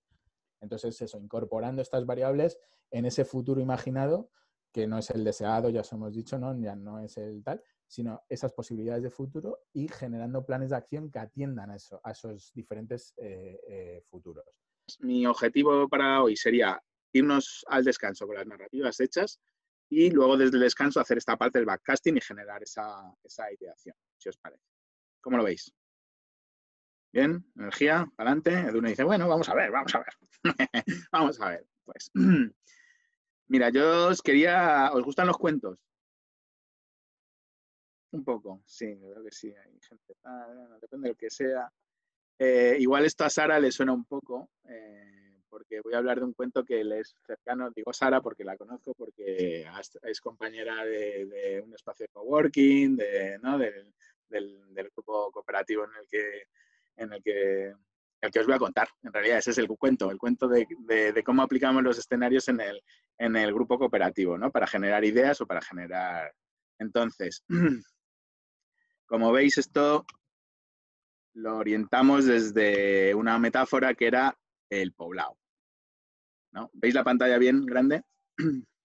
Entonces, el poblado, claro, era el, pues imaginaros que era como una especie de coworking, pero que no era oficial ni formal, ¿no? Pero que habíamos varios equipos que estábamos ahí con, con usándolo, compartiéndolo y con ganas un poquito de más roce, ¿no? Es decir, esto, esto de intercomperar así un poquito informalmente está bien, pero hay algo más, ¿no? Y esto puede ser una estrategia de resiliencia para los que nos vienen, ¿no? Y ese fue el, el, lo que originó, digamos, este proceso. ¿Cómo nos podemos adelantar a lo que está por venir.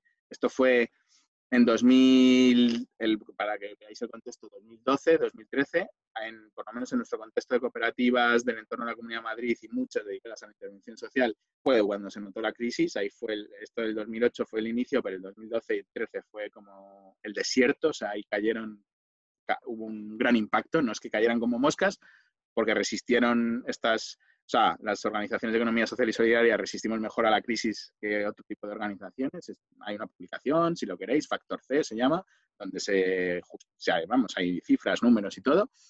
Pero vamos, que se notó que siendo así, aún, así hubo un impacto. Entonces dijimos, ostras, ostras, ¿qué podemos hacer para, para, para sostenernos y eh, cuidarnos de alguna manera e intercooperar ¿no? desde la clave de la? Entonces dijimos, bueno, somos un poblado somos tres chozas, una era el Tequio, otra Yaloga, otra Andaira, ¿no? Son nombres de cooperativas que estábamos por ahí, trabajando juntas, unas son más de psicólogos, psicólogas, otra que es dialoga, Andaira más sociólogos, sociólogas, antropólogas, más de terreno social y nosotros que somos más ambientólogos, ambientólogas y más del terreno ambiental. Bueno, pues eso, las pescadoras, las hilanderas y las herreras, ¿no? Nos juntábamos, ¿no? Cada choza se organizaba a su manera, hacíamos las cosas que queríamos, teníamos nuestros proyectos, nuestra cantera de clientes, nuestras salas de negocio, ¿no? En fin, lo típico de cada choza. ¿Qué pasa? Pues muchas noches nos juntábamos alrededor del, del, fuego, ¿no? La cocina de coworking, comíamos juntas, intercooperábamos en algún proyecto, ¿no? Y había feeling, ¿no? Joder, pues pues, pues esto lo podríamos hacer juntas, pues esto que tú, estás haciendo yo también, podemos, podemos, no sé, a ver si podemos juntar fuerza. Y además el contexto, ostras, lo que nos viene, cómo está, ¿no? Total, que dijimos, ¿qué, no va bien? Pues que nos gastamos muchas, mucho esfuerzo en, reparar las chozas y herramientas. ¿Eso qué quiere decir? Toda la parte reproductiva de un emprendimiento, en las cuentas, en la administración, en la gestión, ¿no? lo que es el, lo que llamamos la dimensión reproductiva, que es lo que hace posible lo productivo. Es una mirada muy desde el cuidado, ¿no? Desde lo que es más invisible, pero que sostiene la actividad, ¿no? Y, esto, el, análisis era, joder, pues estamos dedicando un montón de equipos, en fin, no hay una economía de escala, hay muchas cosas que, que van por ahí, ¿no? Y, los yacimientos, los bancos de pesca y los terrenos cultivables como que escasean, ¿no? Hay crisis. O sea, empezamos a pasar un poquito hambre. Hay equipos que se caen, hay equipos que se diezman, hay o que se disminuyen, ¿no? Y luego, ¿qué soñamos? Pues que en realidad nos gustaría ser más gente, un pueblo más grande, ¿no? Que, se nos conozca más allá donde, ¿no? Para, tener más, más impacto y, eso, ¿no? A, tratar más con problemas en otros bosques. Entonces nos empezamos a juntar y, empezamos a generar escenarios de futuro. ¿Y cuáles fueron los ejes en este caso? Eh, o compartir mucho, mucho, mucho las labores reproductivas o no compartirlas. Y el otro era o compartir mucho, mucho, mucho las, labores productivas o nada, digamos, ¿no? Eran como los extremos. Entonces configuraban cuatro escenarios. Hay uno que es no compartir ni lo reproductivo ni lo productivo, que ese no le valoramos porque para eso nos quedábamos como estábamos. En todo caso, era como ir a un paso más adelante, entonces era cualquiera de los. Eh, uno era este, una choza almacén. Vamos a compartir lo reproductivo, ¿no? En este sentido, yo que sé, contratar una persona que nos lleve las cuentas para las tres cooperativas. Y así no tenemos que tener medias jornadas o gente a ocho horas a la semana, ¿no? Venga, pues una persona a jornada completa, porque nos da para una persona por cooperativa o vamos a tener un servidor común, o vamos a compartir recursos de software que mm, tal, ¿no? En fin, un coworking, tal, ¿no? Pues recursos que nos sostengan y que sean eh, Ahora, pero de lo productivo, cada uno lo suyo, ¿eh? Quiero decir, ahí no nos metemos. Ese era un escenario. No era malo, gustó bastante, pero bueno, vamos a ver si hay más.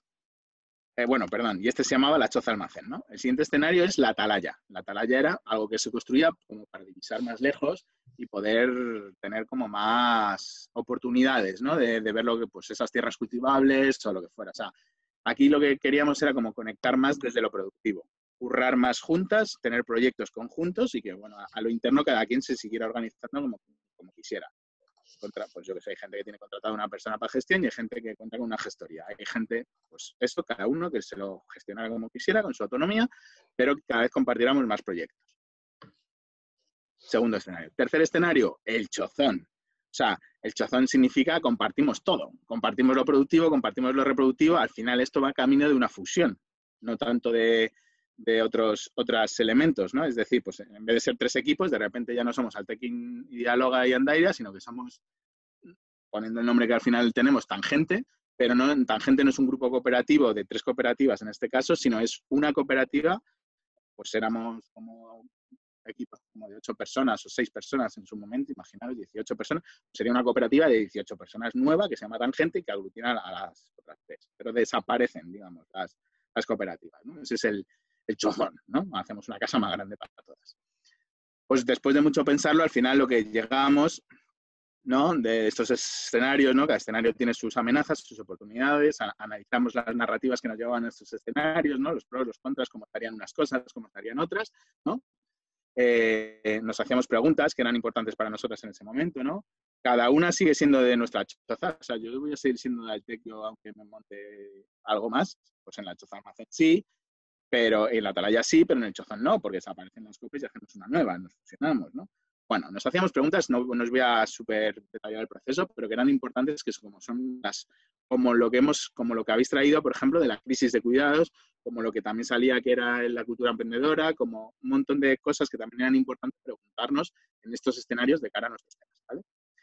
Y por ir, por concluir, eh, llegamos a decir eh, bueno, es movidón, ¿no? Ese fue el lema de ese escenario, es decir, demasiada movida en este momento no es lo que vamos buscando. El según que almacén podría estar FETEN, o sea, nos atraía alguna idea de este escenario, ¿no? Yo compartir pues recursos, mm, coworking, eh, ¿no? Y juntarnos, pues compartir teléfonos, internetes o impresoras o fotocopiadoras, salas de reuniones, pues había cosas de estos que sí que nos molaban, pero según cuáles, igual otras no. Y la atalaya, dijimos, esto sí que responde ahora mismo a las necesidades que creo, creemos que tenemos y a una manera mejor de responder al contexto, al futuro que, nos ha de llegar. Y entonces dijimos, pues la atalaya para que haya, ¿no? Es decir, para generar proyectos y para generar más oportunidades de, comercializar y de vender nuestros servicios, en definitiva. ¿Vale? Eh, bueno, y así fue. Eh, seguimos trabajando un poco sobre los tres modelos, pero al final decidimos, eh, voy a dejar ya de compartir pantalla, generar una atalaya y cómo lo generamos a través de un grupo cooperativo que era unión, una unión que no era la fusión, pero que tampoco era seguir como estábamos, porque para eso tampoco hubiéramos eh, iniciado este proceso. ¿no? Con esto, y habéis visto que la narrativa en este caso era un poco cuento, era una narrativa un poco de cuentacuentos, ¿no? Con las imágenes, con las metáforas de los poblados, el poblado era, ¿no? Éramos todas, las chozas era cada una de las cooperativas, la atalaya al final era pues un, área de negocio, ¿no? De, de impulso de negocio, en fin era metafórico y por eso os he dicho que era un cuento, porque usaba este lenguaje, ¿no? Un poco más. Pero hay otras narrativas que os voy a mostrar una para que, para que veáis otro estilo. Por ejemplo, este, que fue otra de las narrativas que construimos. Y este fue otro taller prácticamente de día y medio con con también retirados en un encuentro cuando se hacían esas cosas, ¿no? Un encuentro de día y medio presencial, convocando a 40 personas, la gente venía, no había el bicho que tenemos entre nosotras en estos días, ¿no? Y, pero bueno, pues con esa metodología. Entonces ahí eh, trabajamos sobre los ecosistemas del Estado un proyecto que es Ecosistemas del Milenio, que también está en Euskadi y que está a nivel global de Naciones Unidas. Entonces generamos cuatro escenarios, ¿no? Y aquí los ejes, lo que veis es eh, políticas ambientales reactivas o proactivas y economía global o local. Pues uno de los escenarios fue este, el 3, el, Homo ecotecnológico, o la máquina verde. Era como más el, la ecoeficiencia, ¿no? Toda esta mirada de la economía sigue siendo global y las políticas ambientales proactivas. Así que hay un, cuidado por el tema ambiental y demás. Entonces, pues es una sociedad eminentemente urbana, estructurada respecto a lo correcto ambientalmente en base a la tecnología, pero con los derechos sociales comercializados y en un medio rural que funciona como fábrica de servicios para la ciudad. Esto llegó como titular, ¿no? Ahora, en 2040, la población vive mayoritariamente en un modelo de ciudad diferente al de hace 50 años. Aquí estamos en 2012, creo. 12, porque más adelante viene la fecha, ¿no? Desde 2012 y tal. Pues esto fue hace 8 años, imaginaros. pues, pues, y lo planteábamos a 2040, es decir, casi 30 años a vista de 30 años, ¿vale? es un plazo en el plazo que trabajábamos. Entonces, pues aquí está la narrativa, que veis que ya esto es una narrativa en plan, una página, y ahora, pues, no me deja, pero quería avanzar la página, otra página, otra página, otra página. O sea, aquí echamos un chorro de, de cosas, de información. Y luego los servicios de los ecosistemas, pues cómo iban a estar, si iban a estar igual, mejorar, empeorar, en fin, la tendencia mm, y tal, y así, cada escenario. Esto fue, pues, otro, otro estilo de hacer narrativas porque en ese, este proyecto era más científico. Entonces, como que había otro modus operandi, ¿vale? Pues el nuestro era el cuento, este es más científico y son narrativas como más potentes, hay incluso con algunas cifras en algunos casos, en fin. Lo mismo que antes, os lo muestro para que podáis ver una diversidad de estilos a la hora de hacer narrativas. Como decíamos antes, no hay receta. Cada quien, cada momento, cada, proyecto de escenarios o cada elaboración de escenarios, pues puede adaptarse a, lo que necesita, a lo que quiera, a los recursos, etc. Sea cual sea el estilo, creo que es importante que luego compartan, sean homogéneas, digamos, entre sí. Tan homogéneas no solo en estilo, sino en contenido. Es decir, eh, os voy a compartir y ya vamos adelantando para, la, herramienta que, os quiero, con la que os voy a proponer trabajar, que es un poco la que estuvimos trabajando en la sesión del martes. Em, tan sistematizado como esto. Yo sé preparar una plantilla en la que, imaginaros, el escenario 1, que es alto impacto del cambio climático y de la crisis sanitaria, eh, pues podamos hablar de las áreas de interés que habéis detectado pues desde la tecnología y la brecha digital a la cultura emprendedora, a los cuidados y el trabajo comunitario, no está como eje, pero aquí está incluido en que se defina cómo va a ser esa, si que es importante, como, como estos otros factores, pues incluirlos en la narrativa, ¿vale? No como un eje, pero sí como un elemento descriptor. O sea, vamos a hablar de cómo están los cuidados en, cada uno de los escenarios. Vamos a hablar cómo está la cultura emprendedora, y yo os, señalo aquí estos temas, pero que igual no hacen falta recorrerlos uno a uno, igual os podéis dejar alguno de tintero, incluso añadir alguno que no esté. Es decir, ¿cómo va a ser el emprendimiento en Euskadi en 2035? ¿Cómo me puedo imaginar? No es que tengáis que responder nada, ¿vale? Sino con esto un poco de fondo, ¿cómo sería ese futuro en 2035 en Euskadi en relación a estas, a estas partes? Si nos imaginamos que el impacto climático es alto y el impacto de la crisis sanitaria también, ¿cómo serían estos aspectos? Si nos imaginamos en el escenario 2 que el, cambio climático sí tiene un alto impacto, pero la crisis sanitaria no, ¿cómo serían estos aspectos? Y así sucesivamente en cada uno de los escenarios. El uno estabais Mayalen, Marta y Verónica. No sé cuál de las tres os apetece compartir un poquito esta, esta descripción. Eh, Mayalen, tal vez tú que haces... Como quieras, sí, eh, o tú misma si quieres, ¿eh? Ah, yo, yo, venga, pues... Así no eh, acaparó. Bueno, eh, a ver, me voy a acercar un poco a la pantalla porque soy un poco cegatona. Entonces, bueno, nosotras sí que vemos, en nuestro escenario era el... un poco el, el más complicado, lo veíamos, alto impacto del cambio climático y alto impacto de crisis sanitaria. Entonces sí que vemos que en relación al desarrollo de tecnologías sostenibles y la brecha digital, sí observamos que se produciría o se va a producir un aumento de la brecha digital y por ende de la brecha educativa. Eh, dada la exigencia del uso, gracias, em, dada, eh, no, sé cómo poder ver esto ahora. Mm, a ver, vale, aquí. Vale, sí que decía, perdón, em, una exigencia de las plataformas eh, digitales, eh, pero que no se va a corresponder con la capacidad que van a tener las personas de poder acceder a esas plataformas. ¿no? Eh, por otra parte, ante, ante, la crisis ambiental, vemos una apuesta por tecnologías sostenibles que se va a hacer inevitable. Por otra parte, en lo que a cultura emprendedora respecta, vemos eh, que se va a producir una transformación en la cultura eh, emprendedora, un paso de lo tradicional, estos emprendizajes que igual ahora eh, están dejando o aplazando su idea de, emprendizaje, como comentábamos, pues pueden ser personas cuya idea está vinculada a, la hostelería, eh, bueno, a, este tipo de, eh, ideas, sino eh, frente a otras más innovadoras, más innovadoras que den respuesta a las necesidades, ¿no? una mayor inversión en tecnología y en emprendimientos de carácter social, impulsando las redes y el emprendimiento colectivo. ¿no? Hablábamos de la importancia del, emprendimiento colectivo y del, del trabajo del trabajo comunitario. Em, después veíamos en relación a, los cuidados y al trabajo comunitario vinculado a lo anterior, bueno, vemos que incluso ya lo estamos atisbando, eh, un aumento de las iniciativas eh, comunitarias y aprendizaje de otros contextos. Hablábamos de los países del sur, eh, que bueno, hace unos años cada vez que viajábamos, ¿no? tal vez en el contexto de la cooperación viajábamos a países del sur y volvíamos enamorados de, de esta forma que aquí era ajena y que hoy en día se convierte en espejo y en ejemplo del que aprender. ¿no?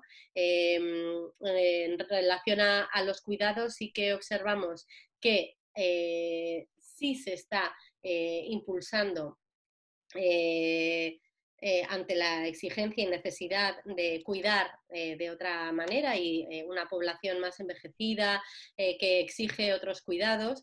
Em, sí que se le está dando importancia y pensamos que se le va a dar importancia, pero al tiempo eh, observamos que esto implicará un retroceso en los derechos de las mujeres, eh, que si ya el, sector de cuidados estaba feminizado, pensamos eh, aún lo, estará, lo estará más. ¿no? Por otra parte, bueno, eh, al hilo de lo que, de lo que veníamos exponiendo, ¿no? Eh, en relación a la igualdad, retroceso eh, en los derechos de las mujeres a nivel fáctico, a pesar de que el discurso teórico sea más progresista, sí hay avances a nivel teórico, se tiene como constante y como algo transversal, pero pensamos que, en la realidad, en, el acting, mm, se, va a producir un retroceso y lo veíamos como ya lo estamos viendo ahora, lo, proyectamos también al 2035, ¿no? ¿Quiénes están pidiendo reducciones de jornada? ¿Quiénes están asumiendo eh, el, traer a sus familias, a, sus padres, a sus mayores a sus madres a casa, eh, pues las mujeres que tienen que, estar teletrabajando, haciendo cuidados, eh, mientras que los hombres, bueno, pues en ese sentido mayoritariamente continúan, continúan en otra, eh, en otra onda. Creemos que de aquí a 2035 eh, las mujeres eh, veremos nuestros derechos.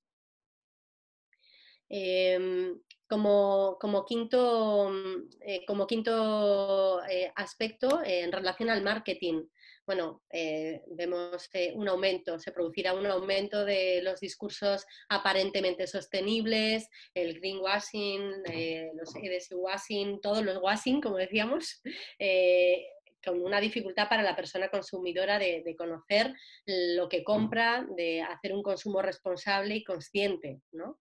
Es, un poco sobre lo que veníamos hablando. Y em, en relación a, la gestión de, equipos humanos, bueno, pues vemos que eh, la aparición del teletrabajo eh, va a implicar un cambio en, la gestión de, los, eh, de, los, equipos, ¿no? una gestión alternativa de los recursos humanos vinculada a la gestión del tiempo, a la comunicación, eh, aparecerán nuevos modelos de liderazgo, eh, cómo dirigir equipos que no se relacionan eh, de manera directa, ¿no? o cómo gestionar conflictos entre miembros de, los equipos, cómo hacer converger distintas ideas, todo desde un espacio bueno, digital que pierde la parte humana de, del día a día. ¿no? Eh, y mm, por último, eh, la financiación ética, eh, no, hemos llegado a, desarrollar esto. y esta ha sido, bueno, no sé, Mayalen y Marta, si, si me he dejado algo, si... No, yo creo que estupendo, bien, bien todo lo que, lo que hemos comentado, genial. Sí, mm. la financiación ética nos ha, nos ha quedado un poco ahí pendiente, pero bueno, yo sí que diría que yo creo que va a ser un tema que cada vez se le va, la banca ética pues está demostrando que cada vez tiene más impulso y debido a las necesidades de, mm, pues, de todas estas iniciativas sociales para, para compensar un poco, para cubrir las necesidades que crea la crisis sanitaria y la climática, pues yo creo que la financiación ética cada vez va a ser más útil para diferenciar ¿no? Estos, estas iniciativas y para de verdad favorecer, este, para impulsar este, estos modelos alternativos de, de negocio. Ajá. Sí. Ahí lo recojo sobre la marcha. Estupendo. Muchas gracias. Estupendo, pues muchas gracias, escenario número uno. Eh, vale, un montón de información, así que eh, estupendo. Nos vamos a ir al 2. Eh, ahí estabais, Cristian y Edurne. pues. Vale, Edurne, si quieres, lo hago yo. Bueno, Voy yo entonces, a ver. Espérame. Ya. Bueno, nosotros, eh, el escenario propuesto para nosotros es eh, un mundo con un alto impacto en el cambio climático y bajo impacto en, de la crisis sanitaria. O sea, se entiende que la crisis se, ha, controlado, la pandemia, que, que, a pesar de que hay unas tendencias de que obviamente los virus van a estar presentes, pero eh, seguimos viendo que hay, eh, se, controla, se controla de, manera, se gestiona la, crisis sanitaria. Entonces, ante esos escenarios, pues empezamos nuestra primera, nuestro primer análisis, es el desarrollo de tecnologías sostenibles. Con respecto a eso, pues vemos que en, en el 2035 urge la creación de nuevos emprendimientos enfocados al desarrollo de tecnologías, productos y servicios que disminuyan el impacto ambiental, o sea, que lo vemos como una oportunidad el hecho de que al, al, al, verse un alto impacto climático, pues el mundo necesita de nuevos desarrollos tecnológicos y nuevos productos que puedan eh, aportar a, esa disminución del cambio, del cambio climático. Eh, cuando hablamos de, bueno, no, no, escribíamos cultura emprendedora, pero vemos que notablemente la cultura emprendedora eh, es indispensable para, para el desarrollo de esas innovaciones que todavía no conocemos, de ese futuro que está todavía por explorar, que no sabemos hacia dónde va. Entonces, la cultura emprendedora definitivamente eh, será impulsada a todo nivel, desde nivel político, nivel educativo, nivel eh, social. O sea que vemos ahí una, una, gran tendencia. No lo alcanzamos a escribir, pero, pero sí es una tendencia en donde las, las regiones, en este caso Guipúzcoa, tendrá eh, políticas, planes, programas para impulsar eh, esa cultura a nivel regional. lo estás, lo estás escribiendo, ¿vale?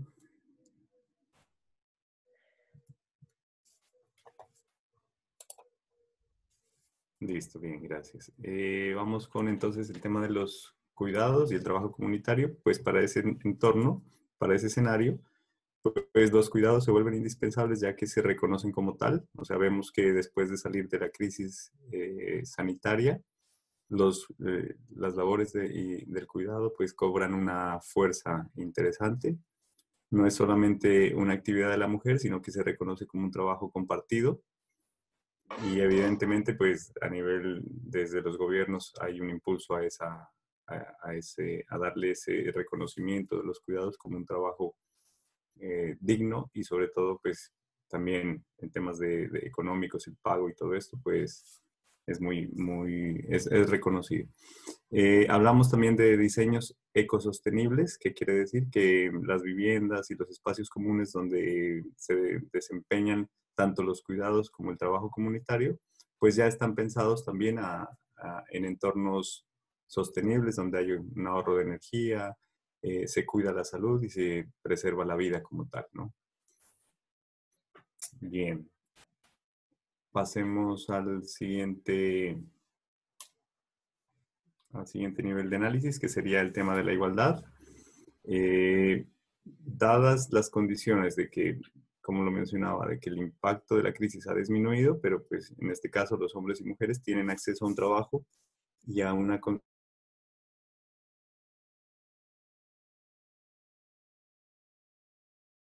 pero esos trabajos tienen que tener un enfoque sostenible independientemente del sexo de las personas que lo ejecuten. O sea, en temas de igualdad, nosotros vemos que al pasar una crisis sanitaria en donde reconocemos que es importante los cuidados y que son las mujeres las que esencialmente los están desarrollando, tiene que haber un reconocimiento, ¿cierto? Tiene que haber un reconocimiento de, esa, de ese nivel de igualdad y eh, un reconocimiento no solamente por nombre, sino también por, por pago, o sea, debe haber un pago justo por esas labores de los cuidados.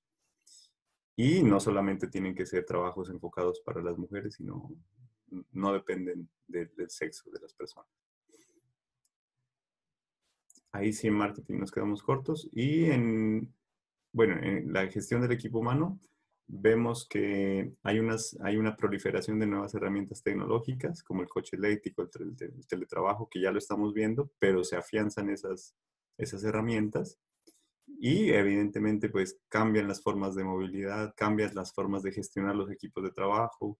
Por ejemplo, mira lo que tú, Jorge, con, con estas herramientas que estamos viendo, este Group Mac, por ejemplo, me parece muy interesante como uno ya en la distancia puede, puede acercarse a las otras personas y ya no se necesita solamente la presencialidad, sino que a través de Internet podemos tener un mundo más cercano también, ¿no? Y el hecho de que, bueno, pues el contacto social es tan importante, pero pues eso también hace que la gente se mueva menos por el uso de la tecnología y haya menos contaminación. Entonces, eh, eh, es, es, es un pro y un contra, ¿no? A la vez. Y tenemos el último, que es el tema de, eh, de la financiación ética.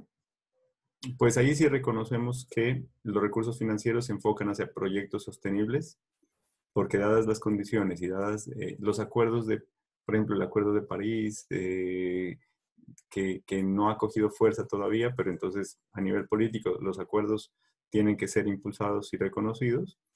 Y evidentemente los recursos financieros pues tienen que estar eh, enfocados hacia proyectos sostenibles, ¿sí?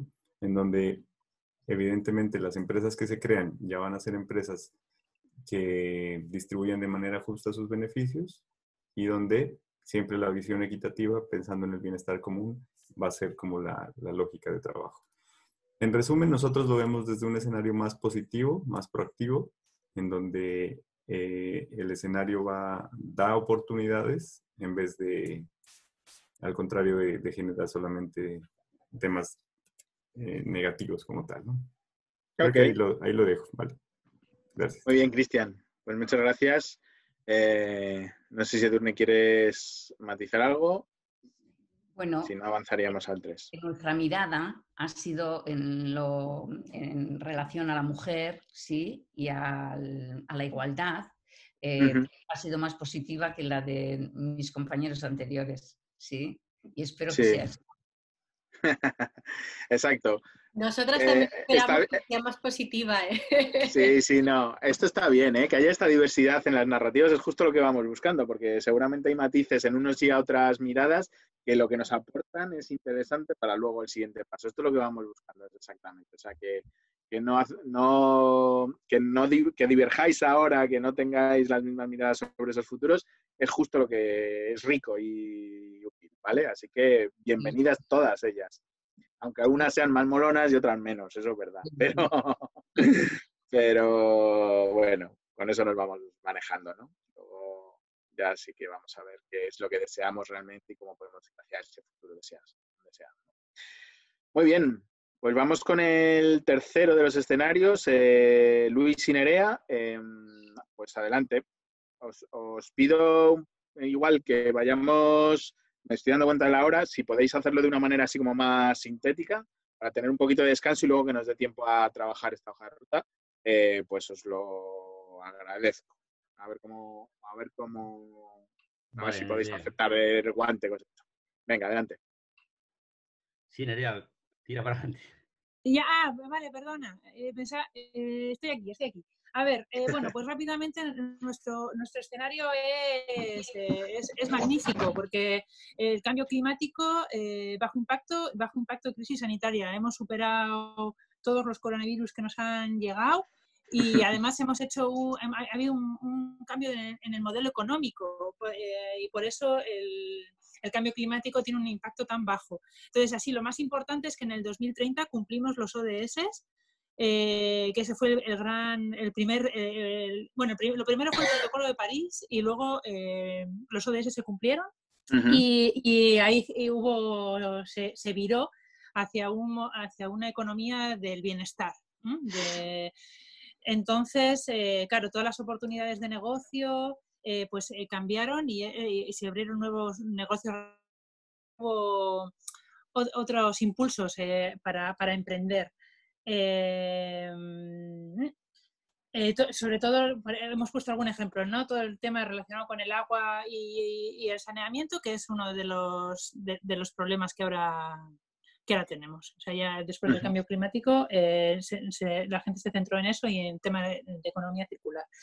Eh, el tema de los cuidados, bueno, pues pues lo, eh, claro, debido a la longevidad y que ya no hay virus y que vivimos bastante bien y no hay ninguna crisis sanitaria que nos esté amenazando, pues, pues eh, ah, el tema de los cuidados ha subido muchísimos puntos. Entonces, la actividad de cuidados es reconocida y remunerada en, toda su, en todo su abanico. Y, bueno, eso, eso ha supuesto que, que sea una profesión de prestigio y, aquí hay un punto que, bueno, ya no está feminizada. Como siempre que hay algo de prestigio, pues, mm. pues eh, hemos tenido que abrir el, el, espacio, ¿no? No, no vaya a ser que nos lo quedemos nosotras. Porque, claro, este es un, es un escenario maravilloso, pero bueno, hay cosas que, que, siguen igual. Eh, y bueno, a partir de eso, eh, bueno, la igualdad, obviamente, hemos avanzado. Eh, sobre todo porque ha habido un cambio de paradigma económico. Entonces, eh, este paradigma económico eh, va en contra de, la igualdad y el nuevo pues va, va, va, a favor, aunque haya cosas que sigan igual, pero obviamente ya Eh, y bueno, el tema del marketing, como todo lo demás, pues se ha tenido que, adaptar a la nueva realidad y a los nuevos valores, porque ahora vendemos otra, cosa, ¿no? Entonces, pues em, eh, seguimos con ese rumbo de que lo que venden son las historias y el último anuncio de la tele, pues eh, ha sido una historia de superación personal, de una... Habíamos pensado primero de, de, un emprendedor que lo había perdido todo en 2020 con la crisis sanitaria y como o una persona en situación de vulnerabilidad, cosas así. Y por último, lo del liderazgo, o sea, lo de la gestión de personas, bueno, pues hay otro tipo de liderazgos. Ya no es el típico departamento de recursos humanos, ahora eh, se abogan por liderazgos funcionales, es decir, que cada persona lidera en el área en el que es experta, ¿no? Y hay como una rotación de liderazgos. Y, y bueno, y ya no, y también los jefes con J, ¿no? Eh, pues esto que ahora es incipiente de los jefes con G, ¿no? Los gestores de felicidad, pues ahora ya es una realidad porque los jefes o esas personas que gestionan recursos humanos eh, ya no solo se, tiene, se preocupan de temas económicos y laborales, ¿no? Eh, también se centran en el bienestar de la plantilla. Así, y ya ahí nos hemos quedado, pero bueno, es un escenario maravilloso eh, donde, donde ha habido un cambio, ha habido un cambio de, paradigma económico que ha supuesto todos estos cambios chiquitines. Genial, pues muchas gracias eh, por esta em, presentación de este escenario, que efectivamente es como más el, el deseado, ¿no? Poco impacto climático, poco impacto, poco impacto sanitario, ¿no? Entonces tenéis ahí eso en vuestro campo de juego. Muy bien, pues vamos al cuarto. Bueno, Luis, no sé si querías comentar algo sobre el escenario. No, perfectamente eh, desarrollado, vamos, eh, expuesto por, por Nerea, ¿no? Es, lo hemos hecho perfectamente y está. lo, has puesto Muchas gracias. Estupendo, pues muchas gracias a los dos. Vamos con el cuarto entonces, eh, bajo impacto del cambio climático y alto impacto de la crisis sanitaria. Vamos, Leire Said, Sara. Sí, eh, me da igual yo comentar algunos y que mm, Sara comente otros. A ver, bueno, tengo aquí abierto ahora el de igualdad. Eh, bueno, relacionado con el ámbito laboral, sí que vemos que a futuro, ¿no? Porque, eh, pues dada la crisis sanitaria, que es lo que mayor impacto tiene en este escenario, eh, pues mm, hemos visto que, mm, o visionado que va a haber un, mayor, un menor número de presencia de mujeres en, puestos directivos. Pero bueno, en contraposición, eh, sí que vemos que se reivindicación a través de mm, plataformas digitales, como que mm, eh, el activismo eh, dentro del género eh, va a tener, va a ganar más presencia y terreno en lo digital. Mm, eso yo creo que ya estaba con el de igualdad. ¿Qué más teníamos? Vale, de cultura emprendedora, bueno, pues que al final el tema de ayudas a, emprendedores, ¿no? Que decidan eh, impulsar negocios, ¿no? Centrados en el diseño de servicios y productos. Bueno, pues que mm, ayuden, ¿no? A ese nuevo contexto de crisis sanitaria. El tema de diseño de pues, productos que eh, protejan la seguridad personal eh, y ayuden a convivir ¿no? en, ese, en esta realidad. Sara, si quieres comentar alguno más. Dale, dale, dale tú.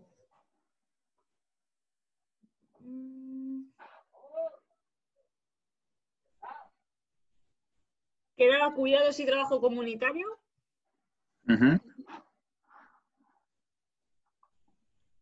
¿Me estás diciendo a Sara que, que tire? Sí, sí, si quiere comunicar, sí, sí, si quieres ponerlo ella, pues compartir entre las ah, dos. Vale, vale. si quieres eh, completar con algo, Sara, y ya. Eh, nada, el de cuidados era, a ver, era el 3, ¿verdad? Es que no veo aquí la descripción. Sí, sí, sí, eso es. Pues eso. Lo pongo en, en grande. Claro, aquí. Ah, sí, sí, perfecto. Eh, nada, como que habíamos eh, visualizado también eh, que se hiciera obligatorio protocolos de cuidados en todos los sectores de actividad y en centros públicos y privados, en el ámbito de la educación, para adultos, hombres, mujeres, jóvenes, niños y mayores, ¿no? Igual que ahora mismo tenemos protocolos a nivel sanitario, pues que también hubiera protocolos de cuidados.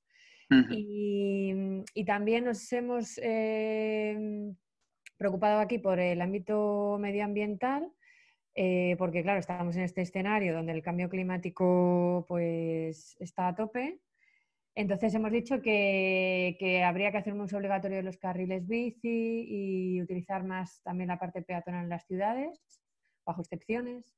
Eh, fomentar eh, los coches compartidos y luego pues también como tener más criterios medioambientales por cada barrio o concentración de población donde haya pues más huertos urbanos y un espacio mayor dedicado al medio ambiente, ¿no? Y bueno, y también como espacios de intercambio vivencial, ¿no? Más espacios también sociales, de ocio cultural, reinventar un poco los, los centros culturales que hay ahora mismo, ¿no? Y pues que no sea de jóvenes culturales tal, sino que sean como espacios de convivencia, pero bueno, darle otro nombre para darles nuevos usos por cada distrito. O sea, nos hemos bajado muy a lo local. Estupendo.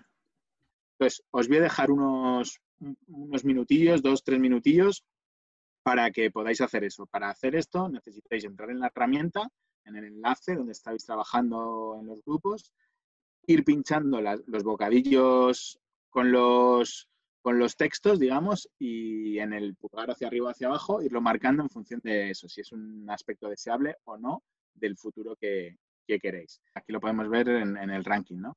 Eh, pues de los más deseables que, habéis señalado tienen que ver con la transformación de la cultura emprendedora, de la tradicional a la, innovación, dadas las nuevas necesidades, mayor inversión tecnológica y emprendimiento social o emprendimientos sociales, incluso las redes y emprendimiento colectivo. Ese es el que más, hay nueve.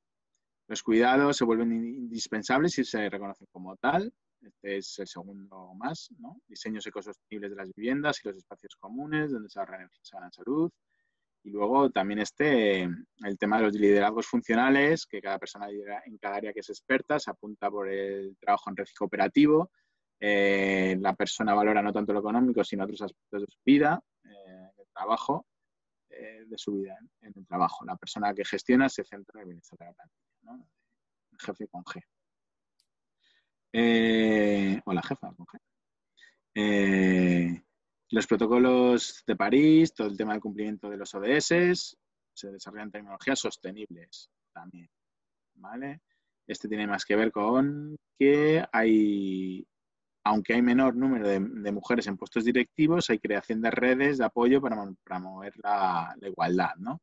Se utiliza la atención eh, de mujeres en servicios sociales, no hay brecha de género tecnológica y la igualdad gana terreno en el ámbito digital surjan nuevos espacios de reivindicación con esto del online.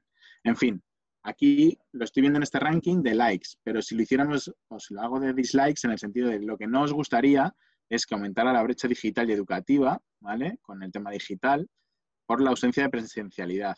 Entonces ahí se deriva en una apuesta por tecnologías sostenibles. Lo que por eso está el like, por esa apuesta por tecnologías sostenibles pero tampoco os gusta el retroceso de, los derechos de las mujeres a nivel fáctico, a pesar de los discursos más progresistas. Esto va en la línea del otro que sí gustaba, ¿no? de, igualdad. Tampoco el aumento de los discursos aparentemente sostenibles, todos los washing que hablabais, ¿no? el greenwashing, el ODS washing eh, y demás. Y, este, eh, el tema del impulso, que bueno, pues tiene otros likes, así que lo dejamos con esos tres. ¿Vale? Entonces, mm, ahora mismo lo que habéis identificado como deseado, como ese futuro menos deseado, ¿vale? Ahora os voy a pasar a, esta otra, a este otro siguiente paso y lo que os voy a proponer es que si veis, por ejemplo, pues que vayamos a, dentro de las acciones o dentro de los ítems que hemos identificado como más deseables y a los que hemos identificado como menos, eh, actuar sobre ellos. Actuar, ¿qué significa? Pues ver lo que os decía antes, que acciones podemos pensar hoy a 2020 o qué acciones podemos pensar a 2025 o qué acciones podríamos pensar a 2030, imaginaros, ¿no? Eh, para llegar a ese futuro deseado. Nos ponemos ahora en nuestro rol de emprendedores y emprendedoras.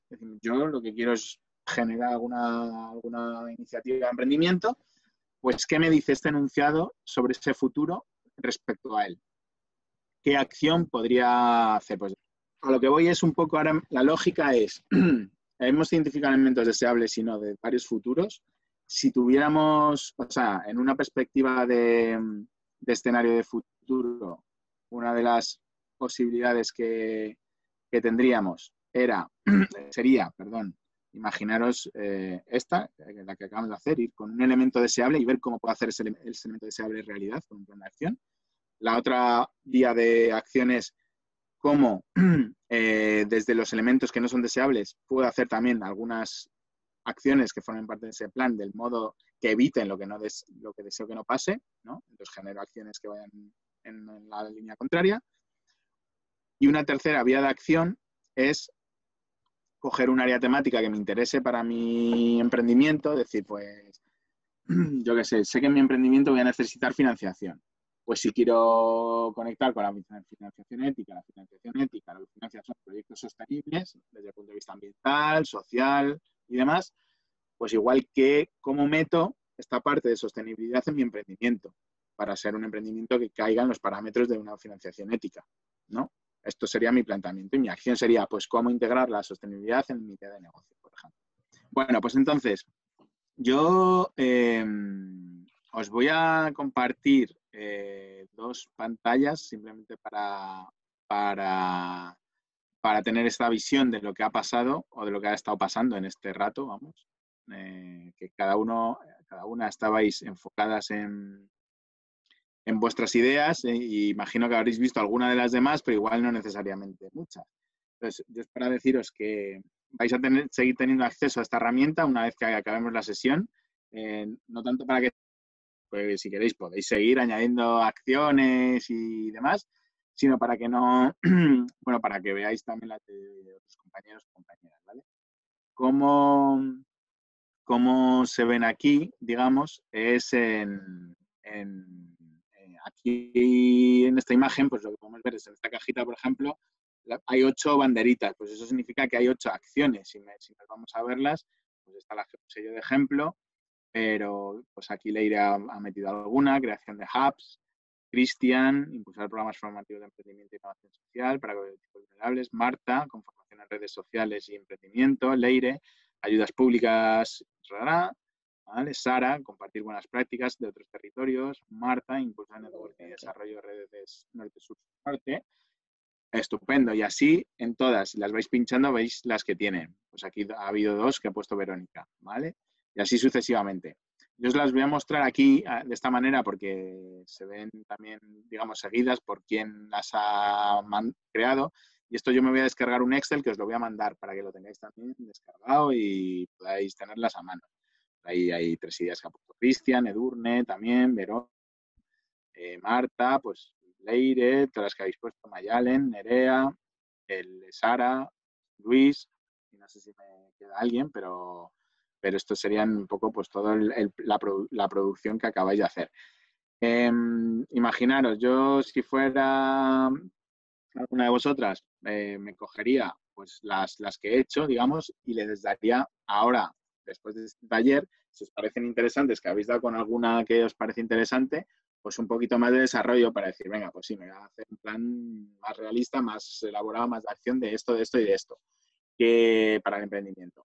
Igual habéis puesto dos y se os ocurren otras dos que todavía no habéis puesto. Igual habéis puesto ocho y os queréis centrar en dos. Igual algo que ha puesto otra persona os inspira y por eso os voy a compartir todo, para que bichéis y para que podáis eh, copiar en el buen sentido ¿no? de, las ideas eh, y demás. ¿Vale? Eso como, como, digamos, recogida de lo que habéis producido y como un siguiente paso ya fuera del, del taller, pero que al que os invito. Como siempre, esta herramienta, desde el principio decimos, ¿no? Adaptable, etcétera.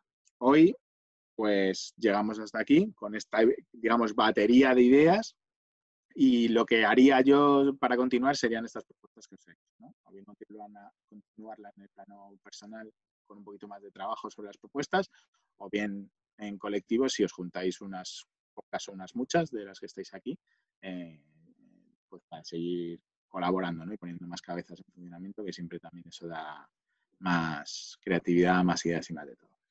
y con eso, digamos, sería un poco el fin de la herramienta, el fin del, objeto de la herramienta, ¿no? Sería generar ese pool de acciones como una hoja de ruta en el sentido de poder marcar, pues, cuándo y qué mm, estaría dentro de, ese, plan de. Y luego llegaría, llegaría a fase de implementación, de evaluación y de todo eso, pero hasta ahí ya no llega, no llega la herramienta. La herramienta se queda, digamos, en la planificación de, esto, este, de esta el resultado es eso, un plan, ¿no? Digamos,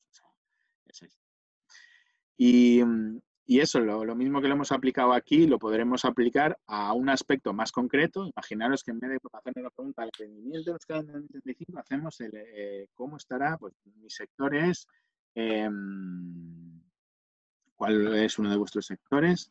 Eh, había alguien que es, eh, bueno, los ODS, ¿no? Por ejemplo, que habéis nombrado antes. Pues Podríamos preguntarnos, el, foco de trabajo podrían ser los ODS o el cumplimiento de los ODS o, la economía social y solidaria, es decir, cómo va a estar la economía social y solidaria en Euskadi en 2035 en concreto y poner un poco foco, más foco en esto que no en, en emprendimiento en general. O, en fin, eso es algo que podéis, si os interesara luego, pues seguir desarrollando. Y hago una síntesis así muy rápida de lo que hemos ido viendo a lo largo de estas dos sesiones, ¿no?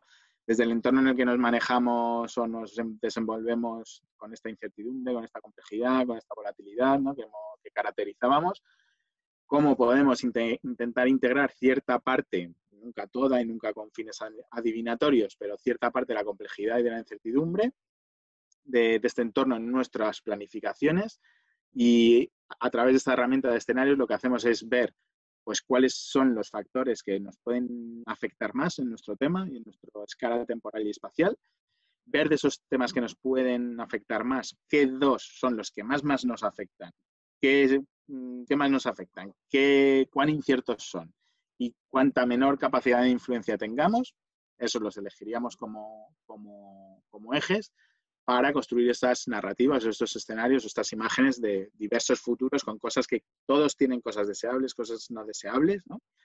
Luego vamos a intentar mm, de, caracterizar cuáles son los elementos deseables, cuáles son los que son no deseables y en base a eso podríamos identificar algunas áreas temáticas tipo la que hemos hecho, ¿no? Igualdad, o financiación, o marketing, o tal, y decir, ¿qué está pasando en relación a la financiación o al marketing en cada uno de esos escenarios y dentro de eso, qué es lo deseable y qué no, y qué, qué acciones puedo desarrollar para promover eso deseable o para evitar lo no deseable?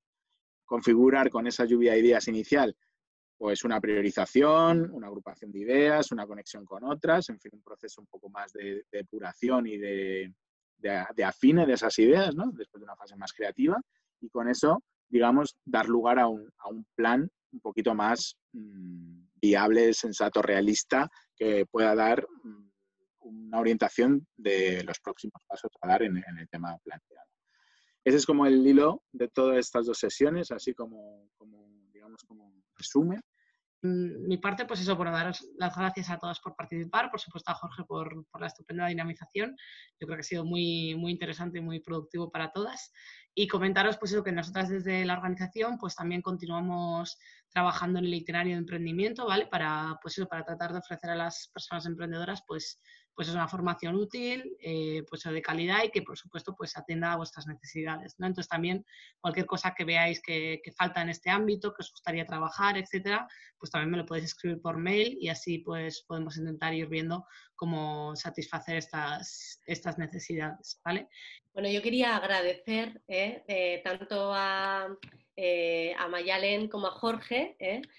Mayalen en cuanto a la organización, Jorge en cuanto a la dinamización. Em, no, no, hubiera imaginado todo lo que iba a dar de sí eh, este taller cuando, cuando lo vi eh, y decidí inscribirme y también querría agradecer al resto de personas que, con las que he tenido la oportunidad, ¿no? que hemos tenido la oportunidad de coincidir en este espacio, porque para mí ha sido verdaderamente eh, enriquecedor y, lo que decía, pues un, placer eh, hacer red y tejer redes, así que confío en que, en que sigamos haciéndolo y, no nos perdamos la pista. Gracias a todas y a todos.